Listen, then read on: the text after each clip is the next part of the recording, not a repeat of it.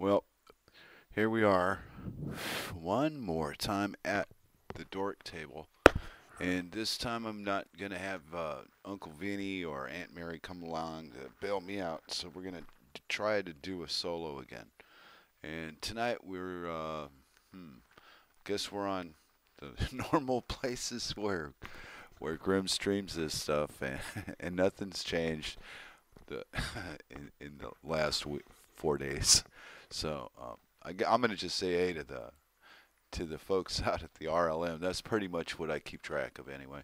We got tonight. Uh, we're at the Dork Table on the 29th of September in 2018. and 8.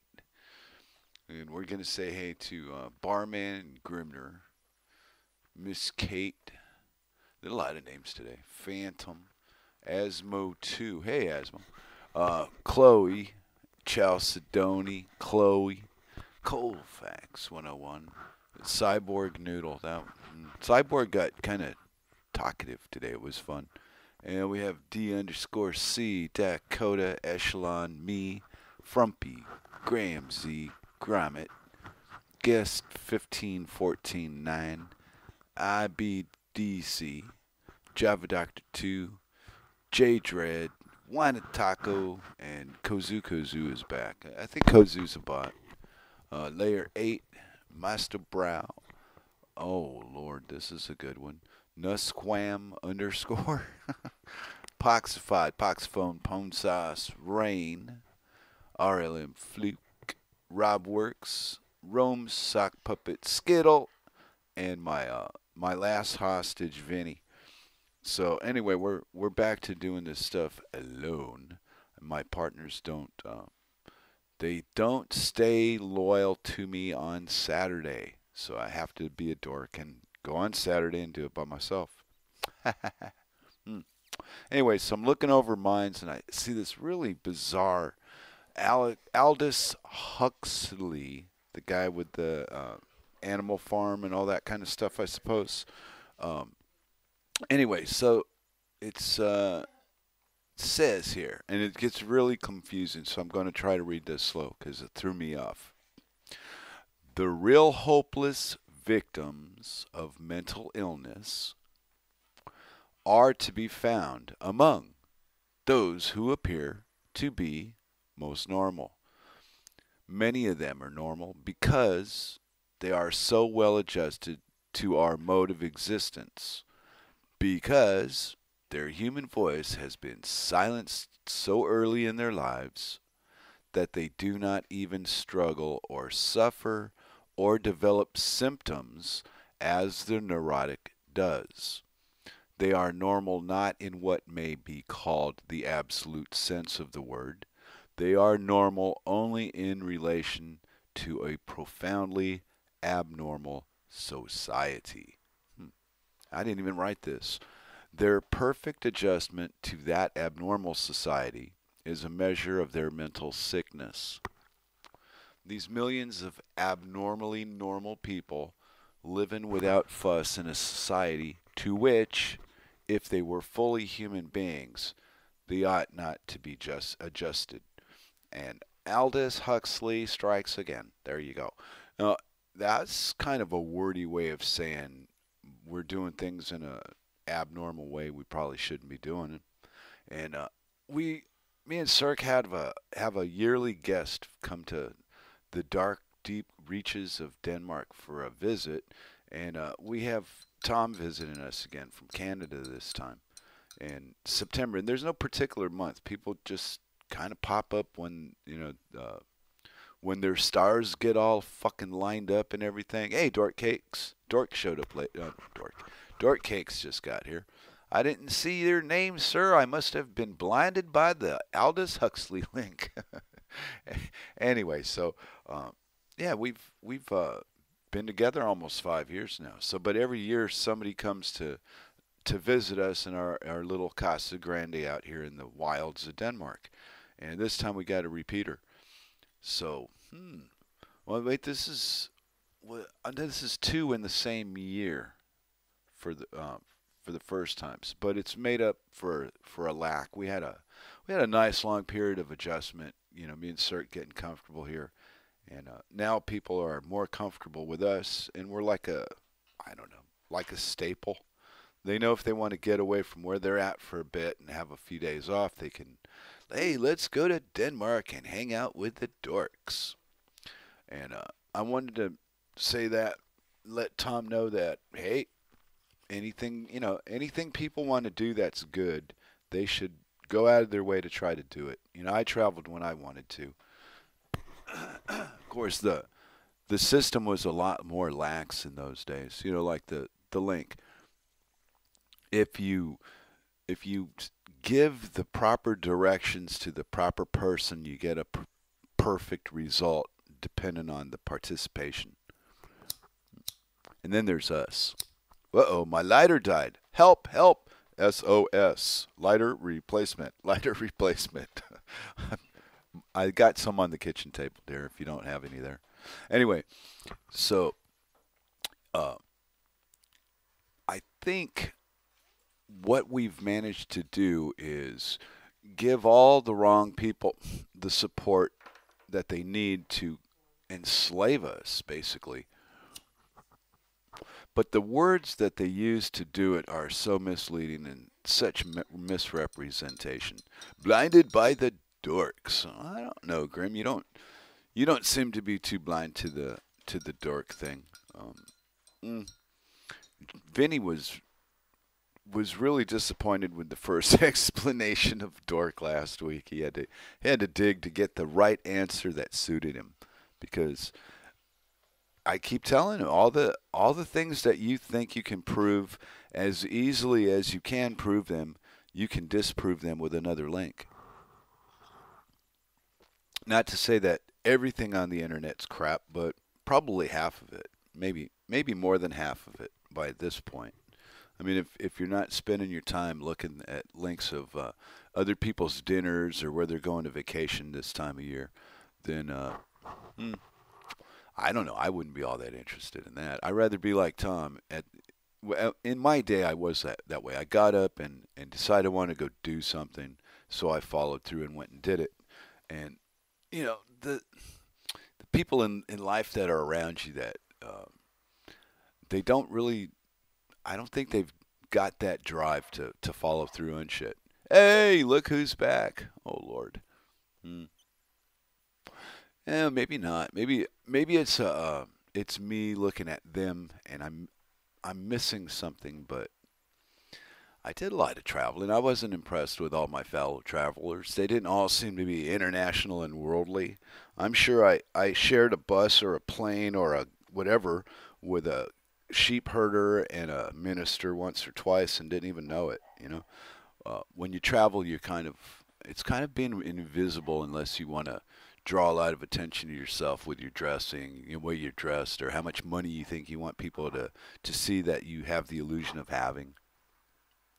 But oh, hmm, it's really uh, my mind is very scattered today. Me and Cirque, we're gonna See, this is why I did the dork table. Is I don't want to do the traditional. Oh, the president did this, and oh, the SCOTUS did that. But I can see the entertaining side of it at this point in my day. uh, I think we'll go with um, stories of travel and tales of excitement from the dork side today on the Dork Table program. So Hmm. Like to focus my mind on something in particular, but it's just uh, I'm jumping from shows I did with Mary to shows I did with Vinny to shows I've tried to do alone before. And we've got a message. I'm just going to read it blind out loud. I hope it's good. From Grimnir. says, if you can, as you do your show, just dot, high, jot down the highlight bullet points or summaries of your discussion. You know, I've tried that, and uh, I don't have a, a, good judge of balance. I'm very off the cuff. My mind just goes where it, I've listened to the show, and and at the end of it, when I think, "Wow, what a waste of time that was," I listen to the show back a couple days later, and, and most of the time, it's it's easier with another person to speak to, but they're not that they're not as disappointing as I think when I'm doing it. Hmm. But I've jotted down notes from previous shows about wonderful ideas I had. And uh, sadly, I'm probably one of the few people on earth that holds the the idea, or at least takes a to any level of uh, action in life. Um, well, let's use Tom. I, I'll get a okay. Do I have your approval to discuss you behind your back while you're sitting over there, Tom? Okay. Well, Tom, I met th- Tom through Circle, and he's from a foreign land far away across the water called Canada. And we have sat and discussed many topics about the countries we're all from. And one one of the things that caught my attention was his interpretations of America as a Canadian aren't that much different than Cirque's uh, of America as a Dane. So, and the sad thing about that is America's not the apple of the eye of the outside of American. The, the people that aren't from there, they're not flash random. Yeah, thanks, Grim. But the the people from other countries that I've encountered since I've been here, they the ones that love America have the funds, hey cakes, to go to Amer- to America if they choose to and visit it. Well, some people have all the luxuries of paperwork, uh, like perhaps you may have yourself a dual citizenship where America has your documents. Well, I've tried to tell people on this dork table before in my history, the passport, as an example, it's disguised as a travel document. The truth of it is, I think it's a tax in it's a tax form to keep track of you while you're in another land. So over the years I've had the chance to talk to people that hold dual citizenship and they tell me that depending on the financial transaction, the government of America wants a cut or it gives you uh, an exemption, but the country that you're from does the opposite. So there's really no way that the the tax collector isn't going to come out ahead of you on it, no matter which side. If they give it you the exemption in the states, they get you in Canada, or vice versa. Mm. Now, I I've picked on all countries equally over the years. I'm not particular to you know one country to me isn't any better or worse than the other one but the the perceptions that we hold towards these things that we don't do, but we live them through other people. We all got our fucking little nasty opinions about shit. That's how they get us to go to war, in case you didn't know. Just like the Nazis, when the Nazis did the what was it? How do you say that? Reichstag or in, okay, the Reichstag Absolutely, they did their own crime. They blamed it on their enemy, and the the public bought the story. And then by the time that the government clears up the mess years down the road, for one, nobody gives a shit anymore. They talk a big, you know, oh, I'm so mad, but the crime's been done. You've been to war. It's over. So now what? What happens in reality is you grab a shovel and you start cleaning up the mess. Well, I don't I don't know if everybody's in, uh, aware of that little detail. There's uh, there's a country running around the world right now. I won't name them America, and uh, they're they're very violent people. They like to bomb stuff, and you know they got this other country, and it's right in the middle of the fucking Middle East. It's like like somebody just drew a circle in the center of it. And then they went, hey, you know who should live there? I think with the Jews would do pretty good there in Israel. we don't have an Israel, sir. Well, we'll just take Palestine and we'll we'll polish it until it's Israel. Hmm. Well, if you told people what truly goes on in politics and wars and history and all this crap that we get told at the time that these things take place, I don't think there would be a war. I don't think the without the lies and the deceptions and the threats. We're going to give Russia sanctions. Well, oh, they're going to wait. It wasn't Russia, it was Iran. This is what got my attention. They're going to sanction, financially sanction Iran to punish them. So now what they're going to do is the Russians are going to go in and save the day. okay, you got two choices, right? This is the global. This is the way we're told. You got the Americans are the good guys, and you got the Russians. And they are the bad guys. So you got the good, you got the bad, you got the good, got the bad, got the good, got the bad. Well, over the years, they've traded places, and now the Americans are the bad guys, and the Russians are the good guys. Well, how is that possible? I mean, Jesus Christ, you guys, you treat each other like you're swapping some girlfriend out that you don't want in the first place. Countries, my ass. People, who gives a fuck about anybody anymore? And and if you do, how can you do it outside of your little confines of your, your domicile, your your prison or your apartment or your trailer whatever the fuck you live in? If you don't live alone, the people you live with that is the world that you got. But we've been convinced all this weird shit. Mm. Like, uh, if I give ten dollars to the Church of the Sacred Bleeding Heart of Jesus in uh, Los Angeles, that my dreams will come true. Let me tell you something. I saved myself the ten bucks. I never even did the thing, the prayer thing, and all my dreams came true anyway. And uh, I was talking with Tom about this inadvertently. It comes up in the conversation now because it's appropriate. And when you age, you have a choice of um, being extravagant or being moderate financially in life. And some people like to show off and, oh, I've got a gold card and, oh, I've got a Mercedes and, oh, I got 15, you know, bedrooms in my house. But what they don't brag about is the debt that goes along with the illusion that they own all this crap that nobody can touch because it belongs to me. You, you go away. Oh, I am busyo. Oh, and it brings the selfish twat out of the nicest guy. Well, some people grow up, and as they age, their tastes not diminish, but they soften. They don't have to have the 24 karat gold watch. Eh, settle for a Timex. well, maybe not a Timex, but you know, it doesn't matter in the end if you tell your time on a Timex or a Rolex. It's still another.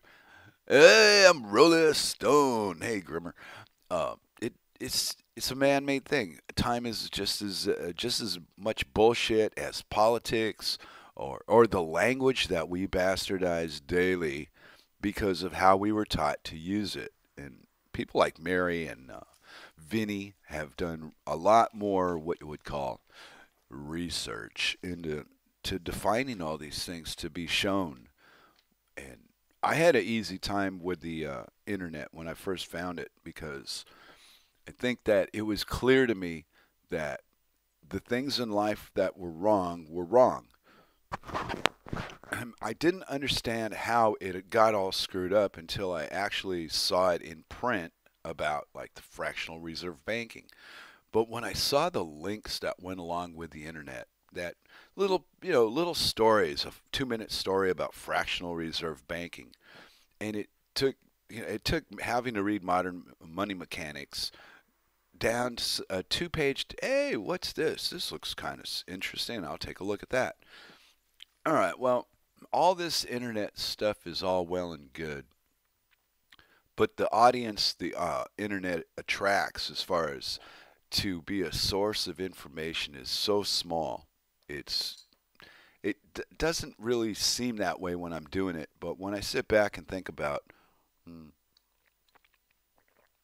here's a link on the uh, on the, youtube and it's about something that has uh, been pitched to the public as a lie for many years and here's the truth about it 200000 people saw it out of that 200,000 people that took the time to look at the link, how many people believed what they saw? you have a lifetime as well as I do, believe me. You have a lifetime of indoctrination. However, it, was sent to you, however, you drew it, you got it. Mine's a little different than some people's, and yours might be a lot like them, so that makes you one of these guys. And I don't I don't see the benefit anymore in, in joining a, a gang to be powerful and, you know, something to protect me. So I've gone I think I've done pretty well with the nonviolent stand that I adopted in my older years. Well, it was halfway through my life, and uh, mm, thanks, honey. The lighter worked. Uh, so, if you adjust your, uh, it's like having a car with a carburetor. You know, if you if your car if you get your carburetor gets a little dirt in it or something, it can throw your whole machine off.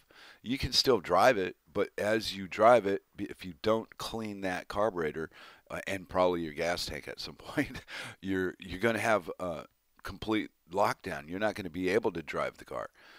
So with the medicine thing, I started to compare myself to a machine in that sense of a low maintenance machine usually doesn't run good. You hear them running down the street tapping.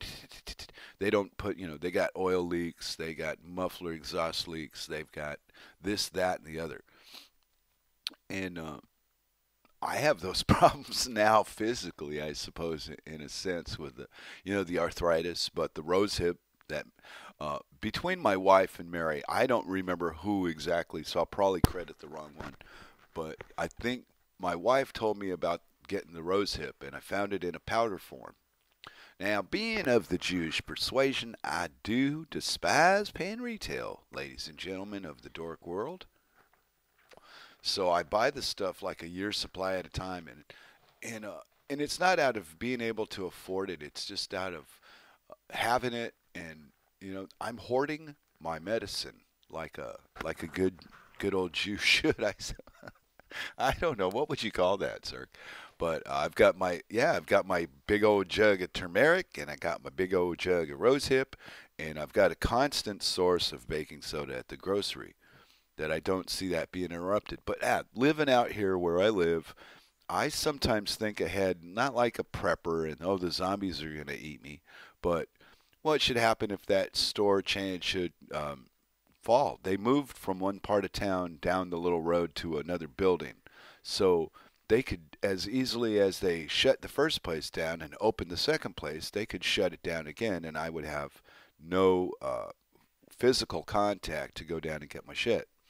And then I'd have to rely on the interwebs and have it all delivered. Hey, Dr. Cooper. Ooh, the cat came down. Uh, this must be a successful show because the doctor doesn't mess around. and, and he just went right by me. Eh, interesting. The Dr. Cooper cat. Hmm. Well, let's see. Anybody out there got any good rape allegations for old Kavanaugh? I know that's been on the internet for like two fucking weeks. You know, I'm 59 now. I just had a birthday last week, right? So somebody did me wrong in 1974, and by God, that woman's going to become a senator? Nope. You know what she did to me when I was a child? and then the sick, sad part about this this fucking joke of a society we live in is that in certain parts of the world, you might not believe this. I hope you're sitting down. Maybe you write this part down. In certain parts of the world, all you have to do to ruin another person is accuse them of something. You don't have to have any proof. You don't have to do anything more than call the cops and go blah blah blah blah blah. John Smith fucked my cat in 1936, and by God, I want something done about it now. And then they look for John Smith and they go, hey, you know, what a coincidence. Since he's running for a, a seat in the White House, I think we'll fuck him up. Now, I don't know what your sexual orientation has to do with your ability to carry the Monsanto or the Coca Cola or the fucking Goldman Sachs chant to Washington so that you don't have to be a, um, a working class slug and you can live good and have good this and good that because that's what politics turned into. Take the money out of this shit. 98% of these motherfuckers wouldn't show up to run, let alone work. I mean, have you ever seen a group picture of the of the Senate? Oh my God, they to me it looks like a failed experiment from the the Isle of Doctor Moreau. oh, Marlon Brando's just sitting there going, ha ha ha ha, it worked. I mean, crying out loud. we have lawyers and doctors in seats of political decision writing legislature that you have to follow because you're you're a citizen and this is for your own good. And isn't it just a coincidence that by the time that guy gets out of that seat in two years or gets reelected to it again, he's going to be worth a lot of money. what do they call it now? Um, they don't call it bribery anymore. They call it uh, lobbying. I'm going to lobby you until you beg me to stop. I know. Well, see, even Dork Cakes, okay? My friend from far away in the Dork Cake land, he says, Senate is pure dot dot dot dot illusion. So, that just tells me that I'm not the only one that sees this this particular way. Know, but I am probably one of the few people in, in the conversation that I have about it that it doesn't physically affect because, well, for one, I really don't believe it's real. And the other part of it is I'm thousands of miles away in my nice little cubby hole and there's no bombing, you know. There's no uh, peace rallies here. There's no marches. The this town, the only time I go into public and find a group or a crowd is when these Danes are out having some kind of family fun out in town. There's not. Uh, I've never seen anything like it in my life. Mm. Yeah, I give the dork uh, cake some credit for his opinion. And he, wait, we got Rob Works too, but yep, it's he's agreeing with Rob Works. Wait, Rob snuck in, and you were naked. That's sexual assault. Yeah, but she, Your Honor, she looked every bit of 15. I mean, they'll just lower the fucking consent rate until the until it's okay to rape a 12 year old. For fuck's sake, we live in yeah the land of illusion, and it. I know I don't live there anymore. I was talking to Tom about that. I have a cousin in America. Hmm and she she was a worker bee and a Republican, and she's a you know loves the Jesus and all like that, and has been married to the same guy forever, and she thinks I'm insane because of my political stand, which is it's all bullshit. Not well, the Republicans are wrong and do do do. no. I think the Republicans and the Democrats deserve each other. I'd like to see you all go to the same planet. Please leave me alone. But you know what? They wouldn't do it. So you know what? I compromised, and life gave me an opportunity to go somewhere. And I, have told this story a hundred times too.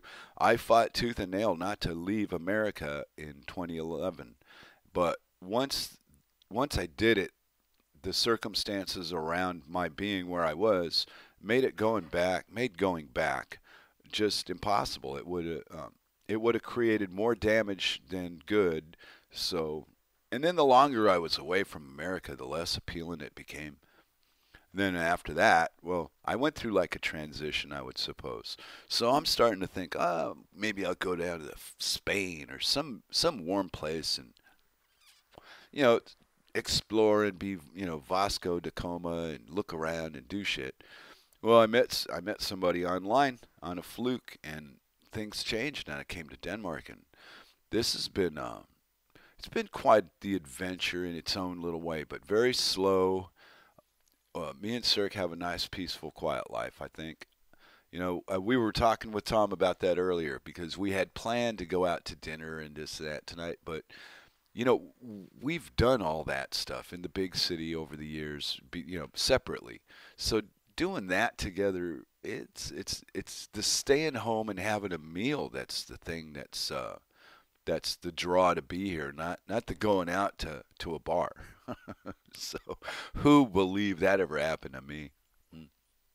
But you know, if if you got lemons, uh, get a bottle of rum or what is it, vodka or something, and make some kind of drink and get drunk. And don't worry about it so much. We make the biggest shit out of absolutely nothing. As okay, oh my TV set program is canceled. Oh my God, what am I going to do? While the electricity you get sold is second fucking rate, and, and you don't get taught this. So when you hear it, you don't even know what you're listening to. And if you do know it, it's just repetitious crap that you've tend to I tend to see see that when I see, hear the same thing over and over and over and I already know it and there comes a time in in the story where it's not reinforcing anything any further. So, I'm kind of stuck today with my mind jumping around from story to story because I don't want to become uh, mentally rutted, you know, where I'm stuck on one thing. I like the freedom of thought. You know, freedom of thought is there you go. It's a wonderful thing. Doesn't mean you have to be a freedom of act or deed. Just means you got to be a free thinker. The doing uh, that that's a matter of of interpretation, I think, because uh, like uh, two people will see the cops pull over somebody, and one guy will go, "Oh, I'm glad they got that crook," and the other guy, without knowing any details, and the other guy will go, "Hey, the cops shouldn't pull people over like that." So you'll have exact opposite opinions about the two people looking at the exact same thing, which is perfectly fucking normal. That is average. Well, I say normal. I know Moose doesn't like it, but it's a good word because we it gives us a, like a foundation to start at because I think that even I have my level of looking at another person down the street and going, "Wow, that fucker's weird." To me, you know, holy shit, what the fuck is that? I mean, we all think it at times. So, I've assumed because I have it, I'm just like everybody else. There ain't nothing special about me. That uh, we all got it. It's all the same for everybody. Whatever you got, it's because that's what you want. You're not stuck with anything. Nobody owns you. You just believe or you don't know, one or the other. So we're we're living in this open air prison, and some people like me, Tom, he, we've got these little magic passport cards, right? And you show them to the little suit with the little badge and the little cap, and they they pat you on the head and you go through their fucking line and do what you got to do. But after a while, I think I don't know. I just got tired of the of the game of the travel, not so much the travel, but yeah, the the way that the TSA operates and, and the church, the, the searching. Oh, boy, I hadn't been handled that much by a fella since the doctor gave me my life when he pulled me out of my mom screaming and yelling my God, those TSA guys want to. Hey, you, what are you looking for down there, sport? Look at my eyes up here, focus. But no, they're looking in your pants for guns, and you've been through all these damn X-ray machines, and you've put half your fucking clothes in a basket to be X-rayed. And if you say anything, because I just about did, I was getting a little little mad with the kid in uh, can't think Aberdeen. I think I was in. I had a short flight to there, and then one to Heathrow. Anyway but I get off one plane, go right into the airport, and the first thing these people want to do is search me again. And I asked, I said, "What? What do you think I got on the plane waiting for me to bring in here? Are you are you giving me a attitude, sir? Oh, no, I was trying to, but it didn't work. they win. So when you're fighting a dragon with, with arms like that, there just comes a time where you, you have to you have to either shoot them back or lay down and, and die. So, no, nah, I chose the the uh, the third option was to uh, avoid escape it by any means. Yes, smile politely and let them grab my balls and go forward. And I don't want to do that anymore. I'm too old of a man now to be uh, pushed around by a bunch of 12 year olds with acne and a gun telling me what I got to do because they're afraid of me. You know, wow. I don't remember being afraid of anybody when I was 20, 30 years old. I thought, shit, people that are afraid just don't know how to live. Their their fear is that's the real them coming through. It got nothing to do with me. And here I am all these years later, and I can say, hmm, I think I was onto something back then. Uh, but I don't know. Other people have diff- different agree- opinions about it. I'm gonna go to the RLM chat. I'll probably regret it because I can't read too good. But they're talking about the Supreme Court justice and his interest in the female anatomy. You know, I think that maybe they should just change the rules in the SCOTUS and say that if you hadn't molested somebody in your 30s, you're not fucking normal and you don't belong on the court. End of story. Think about the good fuckers that would end up holding the seat. It would be like a, it'd be like a Marx Brothers movie. You'd see Harpo and Groucho and Chico and Zeppo. I think there was another one, but I can't remember his name. I'm enjoying a nice drink of my elixir. Well, so I guess we've just come to the point where we, if you want to fuck somebody up, you just got to yell rape. 30 years ago, they raped me. Or, uh, yeah, call him a pedophile. That's the, the new, the new nigger is pedophile. You can't say, well, you can say, you can say Jew. What, how do you insult us, kike? You can say kike and spick, and but you can't say nigger. But you can say um, what else? Well, no, they got us pretty limited. The the um, seven words you can't say have turned into like seven thousand words, and I can't remember them all. So I'm always tripping over myself. Uh, look at this. We have the cakes. We have the Miss Kate. Miss Kate must have came back, or she picked us up on her radio thing. Well, mm, I miss Vinny at times like this. My mind just went. Mm. Um, looking back through my notes as Grim had suggested, and uh, hmm. well, no, I've brought this up to Vinny, but we didn't really discuss it anywhere. But I think voting should be a punishment, not not a right, not a gift, I think that you should be, you know, you should get a, a ticket from the voting authority, and that makes you responsible to go to your computer and sign in to the the state organized central brain type in your secret name and your secret word and force you to vote and leave the rest of us the fuck alone. But with that vote, you get a tattoo on your forehead that says V for voter. And all your peers can recognize you as the stupid mofo that went and supported the shit we live in today. That's why I'm so popular with my peers because I'm so dead set against everything that we have supporting us uh, in life. It's all crap. Uh, let me see. Any uh Miss Kate, she says this. I like this Miss Kate quote. Any person that feels the need to rule has a problem. Well, yeah, Miss Kate, but that is not how that that's not pitched to us that way.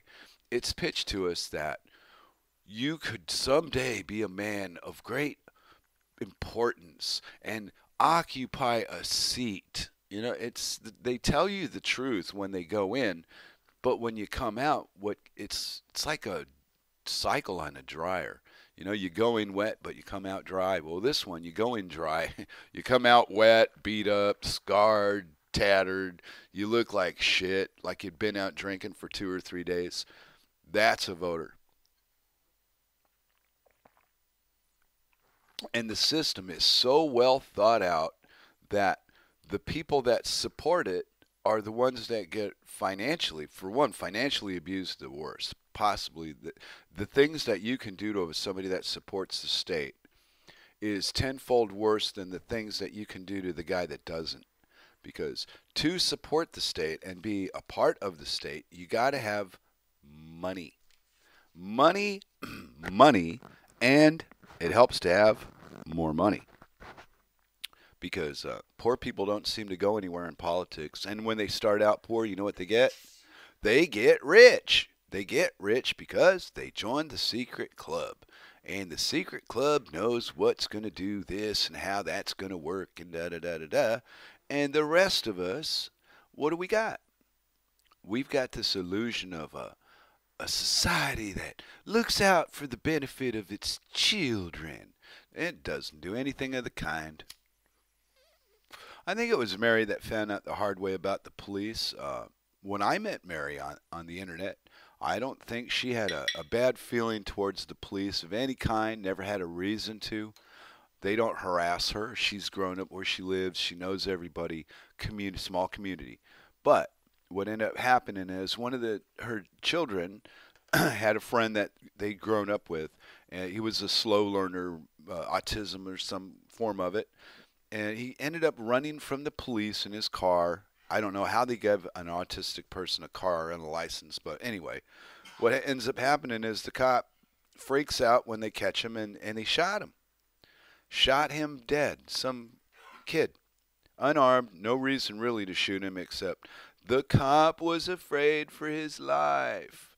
Well, when I was growing up, if the cop would ever said a thing like that, the other cops would have, for one, probably knocked the shit out of him for being a pussy, and then he would have left. There was no, well, you must go. There was, you stay, and this is what you're going to meet every day until you change your fucking ways.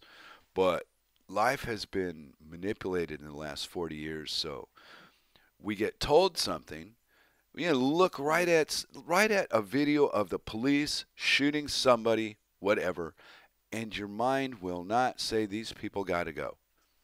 I don't know why that works that way. It, the police don't help you. The, how many people on the RLM don't know that? Well, it's like. If I think the numbers are about 10% are for the police, and the other 90 say "fuck the police." In those exact words, I'm quoting. Right, Rob Grimm and others. Well, I agree with that. I don't need the police. The police have never been my friend. It never did anything for me. In fact, let's go back in my childhood and uh, I'll go back to the 1971. And whatever happened, I was at school, went to school, wasn't feeling good. I got hot, so I had a fever, and the, the nurse at the thing said, Why don't you just go home and take the rest of the day? Just go home and go to bed. And I really was not feeling well, and I really did go home. But I forgot my house key because in that period of time, my father insisted we lock the door and blah, blah, blah, and I had a key. But I forgot it. But what I did have was a window I left open in case I lost or forgot my key because I didn't want to get stuck outside. Well, it was a school day. One of the neighbors saw somebody go into the house. They didn't recognize it was me, so they called the police. Anyway, I'm in, laying there in my room, and I hear somebody running around behind the, the house near my back door where my room is. So I go open the door, and there is this cop from the bottom of the door to the top of the door, from side of the door to the other side of the door. I could barely see the light behind this guy who's so big and he pulls his gun on me and starts, "What are you doing here? We we got a call." And I said, "I live here." And he puts his gun away, takes me to the neighbor, and goes, "Hey, does he live there?" And she goes, "Yeah." Oh, okay. That's how they dealt with it back in 1971. Now, today, that might not that might not work out so well. the the links I've seen I, jeez, I saw a link this morning of a, a traffic jam. I, it looks like a two little country, two lane road, and they have the cop car. He's got the traffic backed up, and there's a, I don't know, could have been a, a possum for all I know about a two foot long animal in the middle of the road trying to cross. Well, this cop is so terrified of this freaking animal, instead of moving to the side and let the thing run into the to the trees like it was trying to do, he took out his weapon and he shot it. And he didn't even kill it the first time. So he had to go around behind the damn thing and get into one of those military kneeling holding your gun like it's some kind of big deal and taking aim from five feet to shoot this thing and actually kill it could have been a person for all. I mean, it didn't seem to me like this cop had any concern for nothing. Just he panicked like a little girl. I mean, have you ever seen a kid pull its hand away from a puppy? That was what I saw. And then, but then I saw him shoot it, and I was like, wow. It made me sad, and I don't even care about possums. I think Vinny would just make a meal out of it. But if you live in that rural kind of area and you're that unfamiliar with the wildlife, and they give you a gun, hmm, I guess you got what you paid for. Tax your tax money saving you. You know, they were trying to make it so the poor thing would get run over by a car and the cop shoots it in the middle of the damn street. Uh, you know, on a country road. So, I don't know what that really represents in my mind, except for the uh, the misguided collective judgment of a society that's so been so deprived of the of what makes us operate properly. You know, physically, a good food, good water, good electricity. You know, the old three uh, three things I complain about. Hey, Moose and cakes. Ha ha ha. I heard Moose was gonna get a RV and travel the wonderful American states. But I don't know. I didn't hear it from you, but I, I, I read somebody say that. Maybe you mentioned it on the radio or we're bringing it up, and that would be a kick. Miss Moose on the loose in a caboose, all over the place. Then you wouldn't have to worry about camping either. You just put your put park your ass in your little mobile house and do whatever you damn well please. But on the other hand, she may, she may not. Maybe I'll just wait long enough for her to catch this and give me a definitive I'm I was talking or I'm planning. Oh, she's saying good morning to the big man Grim. Poor Grim. Working Grimner. He's he's the RLM towel boy. Whenever I have a computer problem, you know, I, I had thought I had a computer problem. and, and it turns out what I wanted to do was just complicating the hell out of buying a camera because I don't know. It was like the the most obvious answer to the question, but I'm trying to figure out how to put this set, how to put this version of uh, operating system on that computer because that computer's got this and this one doesn't, and da da da da da. And at the end, he goes, "Why don't you just buy a computer?" or buy a camera. And I went, hey, wow, from the minds of old people, huh? Grim saved me. But it looks like, uh, here we go, spinning gears again. It looks like old Linux is having some uh, social instabilities with their board of uh, leadership. Because uh, the new thing now is to be uh, what is it? Politically correct on the interwebs. So they're going to put guidelines on us, uh, open source um, tech tech network, right?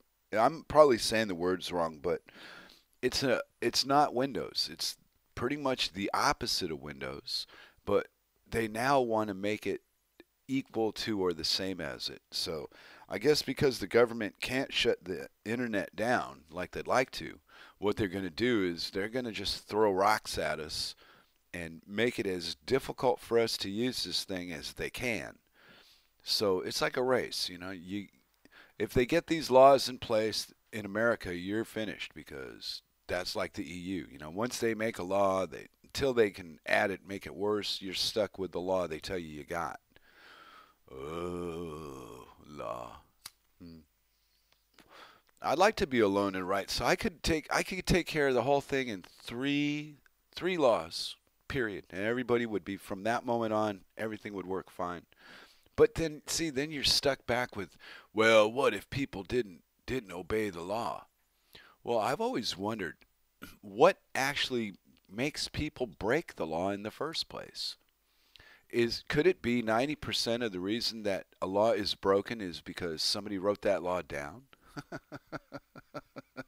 Imagine if they didn't write it down, what would it be? It would be your responsibility for you to do that under your own fuel, not depend on the state to enforce it. And and the crap that they con us into believing, you know, that's oh, this is for your good, like the safety safety belts in a car is. Are, you get a safety belt when you get a bike? I didn't. I've never had a safety belt uh, on a bus, had them on an airplane, but uh, why is it that the, the seat belt only applies to certain vehicles that the government seems to think are more dangerous than others? And uh, it just the whole thing's about money. So I was t- trying to tell Goober months, months back. He was saying he had a little money problem. So I told him, buddy up with a lawyer. There's lawyers everywhere. Find out what the hell the law is going to force the public to purchase. And they call it insider trading, but oh, fuck, who cares? Insider trading. Those people, it's all they do is inside trade. It's if you do it and you're not on their good graces and you get, you know, picked on. Eh, that's a good title to have. Hey, we're to get Goober for insider trading. He bought a seatbelt company with money he borrowed from this other guy. Da, da, da. You know, and the illusion that that we're so we're so self-important and the government is after every fucking buddy that moves $10,000 and it's a big illusion by the way, folks. Not that it's not real, but it's that it's we're not as accountable as they want you to think. They got cameras everywhere. Oh, look at we're under surveillance. Not everywhere. See? If you don't want to be in the camera, go away. Go live somewhere where there's no cameras. And then people will go, but I can't leave. I have responsibilities. And, well, uh, when I had responsibilities, I didn't snivel about my lack of freedom. When I had my freedom, I didn't snivel about responsibilities I wanted to have because I didn't have any. So I don't really understand that. I think that if you're living in a situation that you're not pleased in, change the situation. Why? Well, how do you think you're going to change the world around you? you ain't going to budge an inch. You know, people are going to do what they're going to do, how they're going to do it, and there's that 10% of people that are mm, snootier than the rest. And they're going to steal and lie and cheat no matter what you do. And the only way to stop some of these people is with violence. But it's it's promoted out of us. It's brought out of us through school and education, church, politics, pit us at each other, make us fight about. But Hillary's better than the Donald. No, the Donald's better than the Hill Dog. No, it's just you got the head and the ass of the same fucking mutt. You want to call it a purebred, and it's not. It is exactly what we think it is, I guess, to the individual, but that group think where, fuck, this leader is going to write a fucking law and at some astronomical level of uh, government administration that wouldn't hit you in a thousand years, but I'm a voter. My voice counts. This stuff, it involves me. I don't think the Chinese are going to bat a fucking eyelash at Trump's little um, tamper tantrum and his, uh, what did he call it? His tariffs on the Chinese. Because I read the Chinese got stuck with uh, like tons or billions of dollars worth of produce. I think it was cherries. Some kind of astronomical amount of food. So they just sell it to somebody else instead of dealing with Americans. And if you look at the last, say, 100 years of American history, not what you were told, but dig past all that shit. Hey, hey, cakes. Um, if you did pass through all the lies and the deception and find out what really happened, you wouldn't want to support it anymore. I think that's what happened to me in in a sense with other people when I was growing up were finding these things out, and I was a hanger on. I was like eight, nine, ten years old, and I had cousins that were teenagers, and they'd let me come along because I'd shut up and do what they told me. And part of the shutting up and, and doing what I was told was, you know, listening to them talk amongst their own. And the things that I learned back then all came true in my later years. I was talking about this with uh, with Vinny the other night if I had listened to other people that had sat me down and specifically told me, this is how medical works, this is how this works, I could have saved myself years on top of the, some of the years I got away with. But with the medical thing, that was uh, more personal. You know, they played on me when I got sick. They played off my ignorance, and they played off the the fact that the people that they I was connected to were supporting their game and the only thing that I think saved me, I'd have probably been croaked a long time ago if I had continued down the high blood pressure medicine uh, parade that I was on, because I don't have it. And they con- they convinced me that that was a daily constant problem that I and I figured out later was no I had that symptom that day because I didn't like the doctor. I went in screaming I don't want to, I don't want to see this guy. He's look at him no he can't help me. I'm sick. I want to get better not like him. Well anyway we always have the history books you know to straighten us out and show us where we were wrong. Rockefeller was like what 180 years old when he died this this year. The guy he the pictures of Rockefeller if that was the epitome of good health the success of a of a life that was you know lived lived to the ex, to the extreme and the fullest. He looked like Darth. What was his name? Darth. Some kind of sucked up version of Frankenstein. Let's say that. It was a very pleasing day to see the guy go, but he's got family that's going to carry on his work, and the the little bit of resistance that there is. At at best, I've seen some of the things that have led me to the doorway of freedom, so to speak. As for a link, two hundred and fifty thousand people saw it. Two hundred and fifty, and that sounds like oh, that's a lot of people, but out of two hundred and fifty thousand 90% of them either didn't believe it, don't care, don't want to know. So you got 10%. So 25,000 people saw that link and went, wow, we've been had. Now, out of that percentage of people, how many of them actually did something to change it? Because we've been convinced over the last 40, 50 years, well, longer than that, but me, I've witnessed it since the 70s, is nature is bad, very bad, and the sciences are very good. Oh, very good. Science will save you. Well, when you look at the reality of all this shit, it's the science that's fucked the nature so that we could get in the shithole we're in now. And I don't really see a lot of resistance to it. I see a lot of people go, hey, I don't like it, but this is the only game in town. Just like me. But I think still knowing it yeah, no matter how how little of a scratch it makes in your uh, in your outlook, knowing it gives you an advantage, even if you don't use it, because sooner or later something huge is going to happen in in the world. It always does. They give us some. Uh, what do they call it? They give us a crisis. This year it's been hurricanes and whatever it is, whether it's nature or America bombing the snot out of somebody, it doesn't matter. It's they need that that that crisis and that immediacy and oh look at this it, so when the when the effects of the one crisis wear off you you can step right into a brand new crisis not miss a beat but what you don't seem to notice about it when it's happening is you forget the five crises that just happened so that you can put your attention on the one that you're presently in today so, so how the hell do you stay out of it? I've been trying to. I've been avoiding this SCOTUS thing ever since it started. They do the same thing. They did this with Roberts. They did it with the, the monkey before Roberts.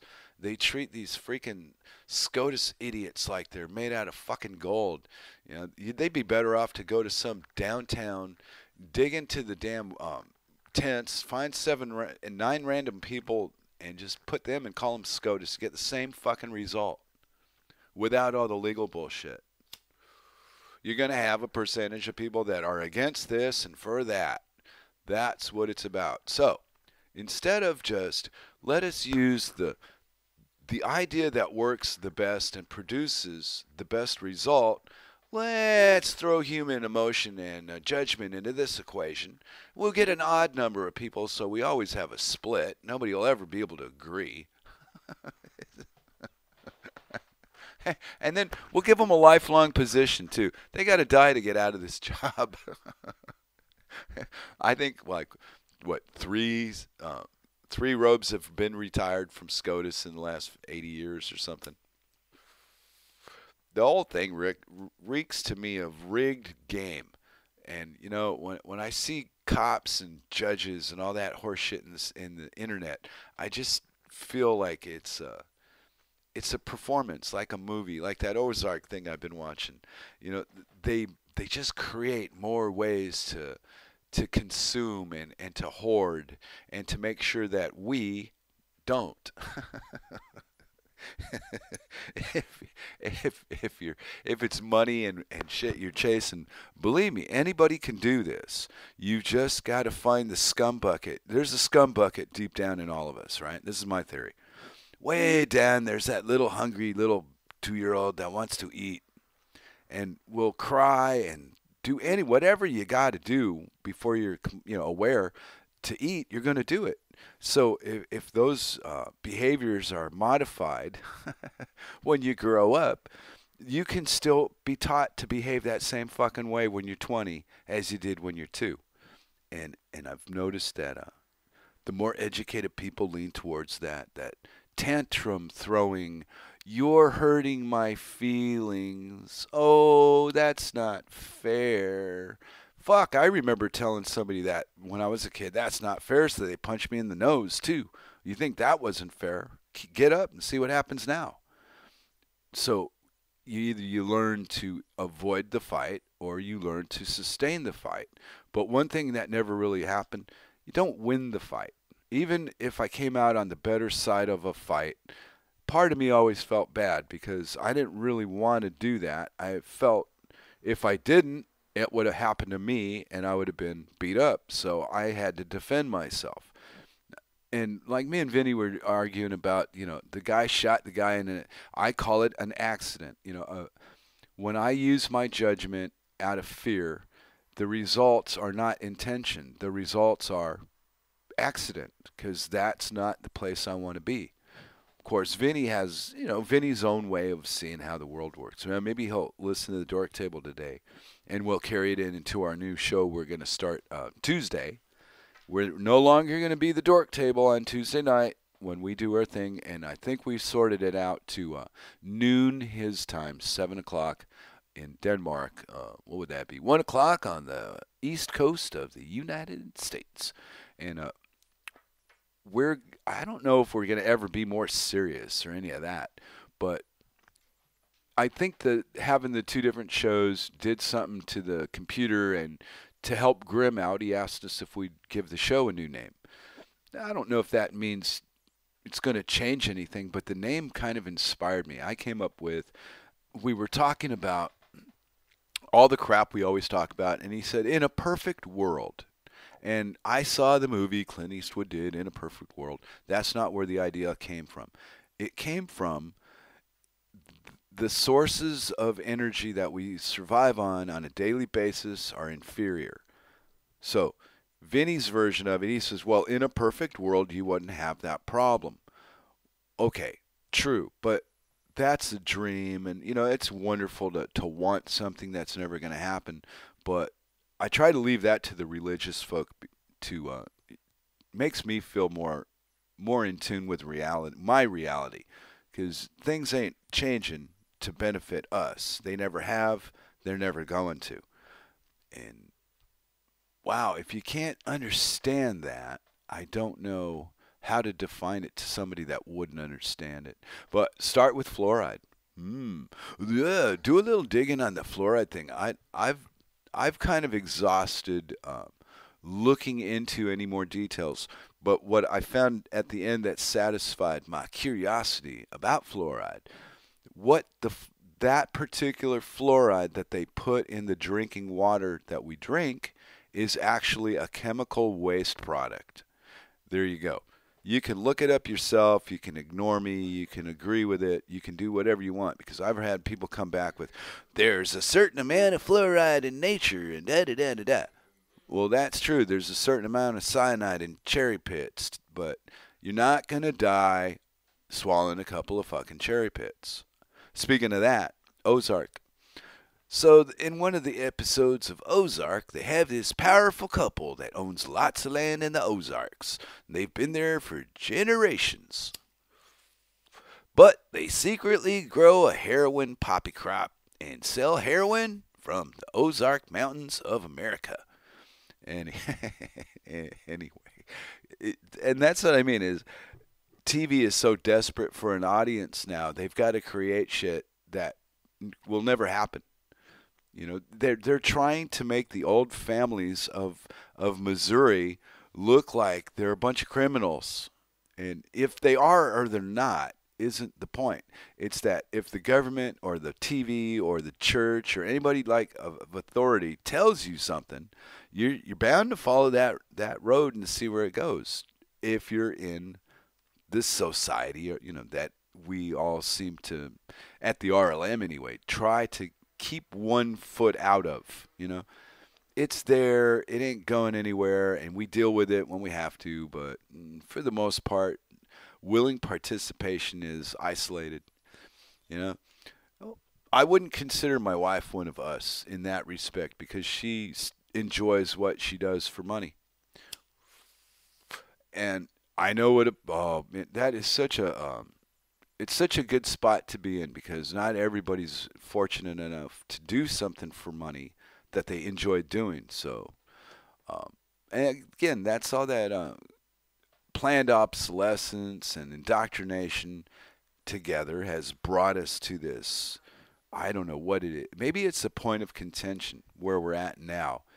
And maybe I'm wrong, and maybe uh, Vinny is correct. And there are more and more people, you know, taking a serious look at, at the ass whooping we're taking from the very people that we're supposedly putting in control of our well-being. And what they do with it is disgusting you know? Let me go back to the i'm ranting and raving all over the place like a mad dork. I'm going to go back to the chat and say hmm grimner is talking to miss kate and the end is did Flash ever say what Tuesday's show name is going to be? Yes, Miss Kate, the name of the show is, and there's a there's also a, a subtitle. I forgot how Vinny worded it, but it's the the main title is "In a Perfect World." Yeah, and I just got in and out of a rant about that because in a perfect world we wouldn't have the problems we have, but we've all been taught that a perfect world is an illusion even me. I mean, even I've given up on, hey, this, the politicians are going to tell the truth. But even recent history shows you that to make pot legal, they're not going to tell you the truth and say, well, look, we lied about this in the 30s so that you wouldn't be able to use it. But no, they recent uh, studies indicate. Look at what we found, and the truth is they didn't find anything. They knew it all along, and they've been lying to us. Well, how can you participate with a, a group of people? Either they willingly know that, that the government has been lying, the ones representing it today, they either know it's been a lie all along, or they believe the lie and think pot is bad for us. So, where does the news study come in at all? A stand on pot is usually uh, fueled by your religious indoctrination, your school indoctrination, or your political affiliation. Because people that don't hold one of those three seats in society generally are the ones that I'm smoking with. you got to be all out of all three to smoke with me. It's like a like a requirement, like a test. You know, if if you tell me, well, yeah, I I voted for Trump, no, give me back the pipe, pal. You can get. You need to go. Maybe not that that abrasive, but I would find a reason to leave that conversation and ditch the weed and go, not stay. People that participate willingly in their own enslavement, they should be dealt with, you know, from a distance. If you don't understand the the results of what you're doing, and you think that any good is ever going to come out of it, explain the last 5,000 years. And I'm stealing that one from Tom because Tom's more of a history guy than me. I, I don't find it necessary to go back beyond 1971 very often. You know, it's all proven itself to be true anyway. But if you do look seriously and, and find uh, correct ways to, to get an answer, you'll find that nothing has changed. It's we live exactly the same way we do now as we always have. They just figured out how to overcrowd us and, and have us accept that as normal. And it's just wrong. The, the, the planned obsolescence and, uh, you know, the man-made shortages, and Johnny Carson did that on TV when I was a kid. I still remember. I think it was 1973. There's even a link you can find on YouTube, and he made a joke in his monologue about, well, there's well, there's a shortage of toilet paper. Hmm, and the next day, everybody that saw Johnny Carson that night went to the store and bought all the toilet paper they could find, and they created a toilet paper shortage.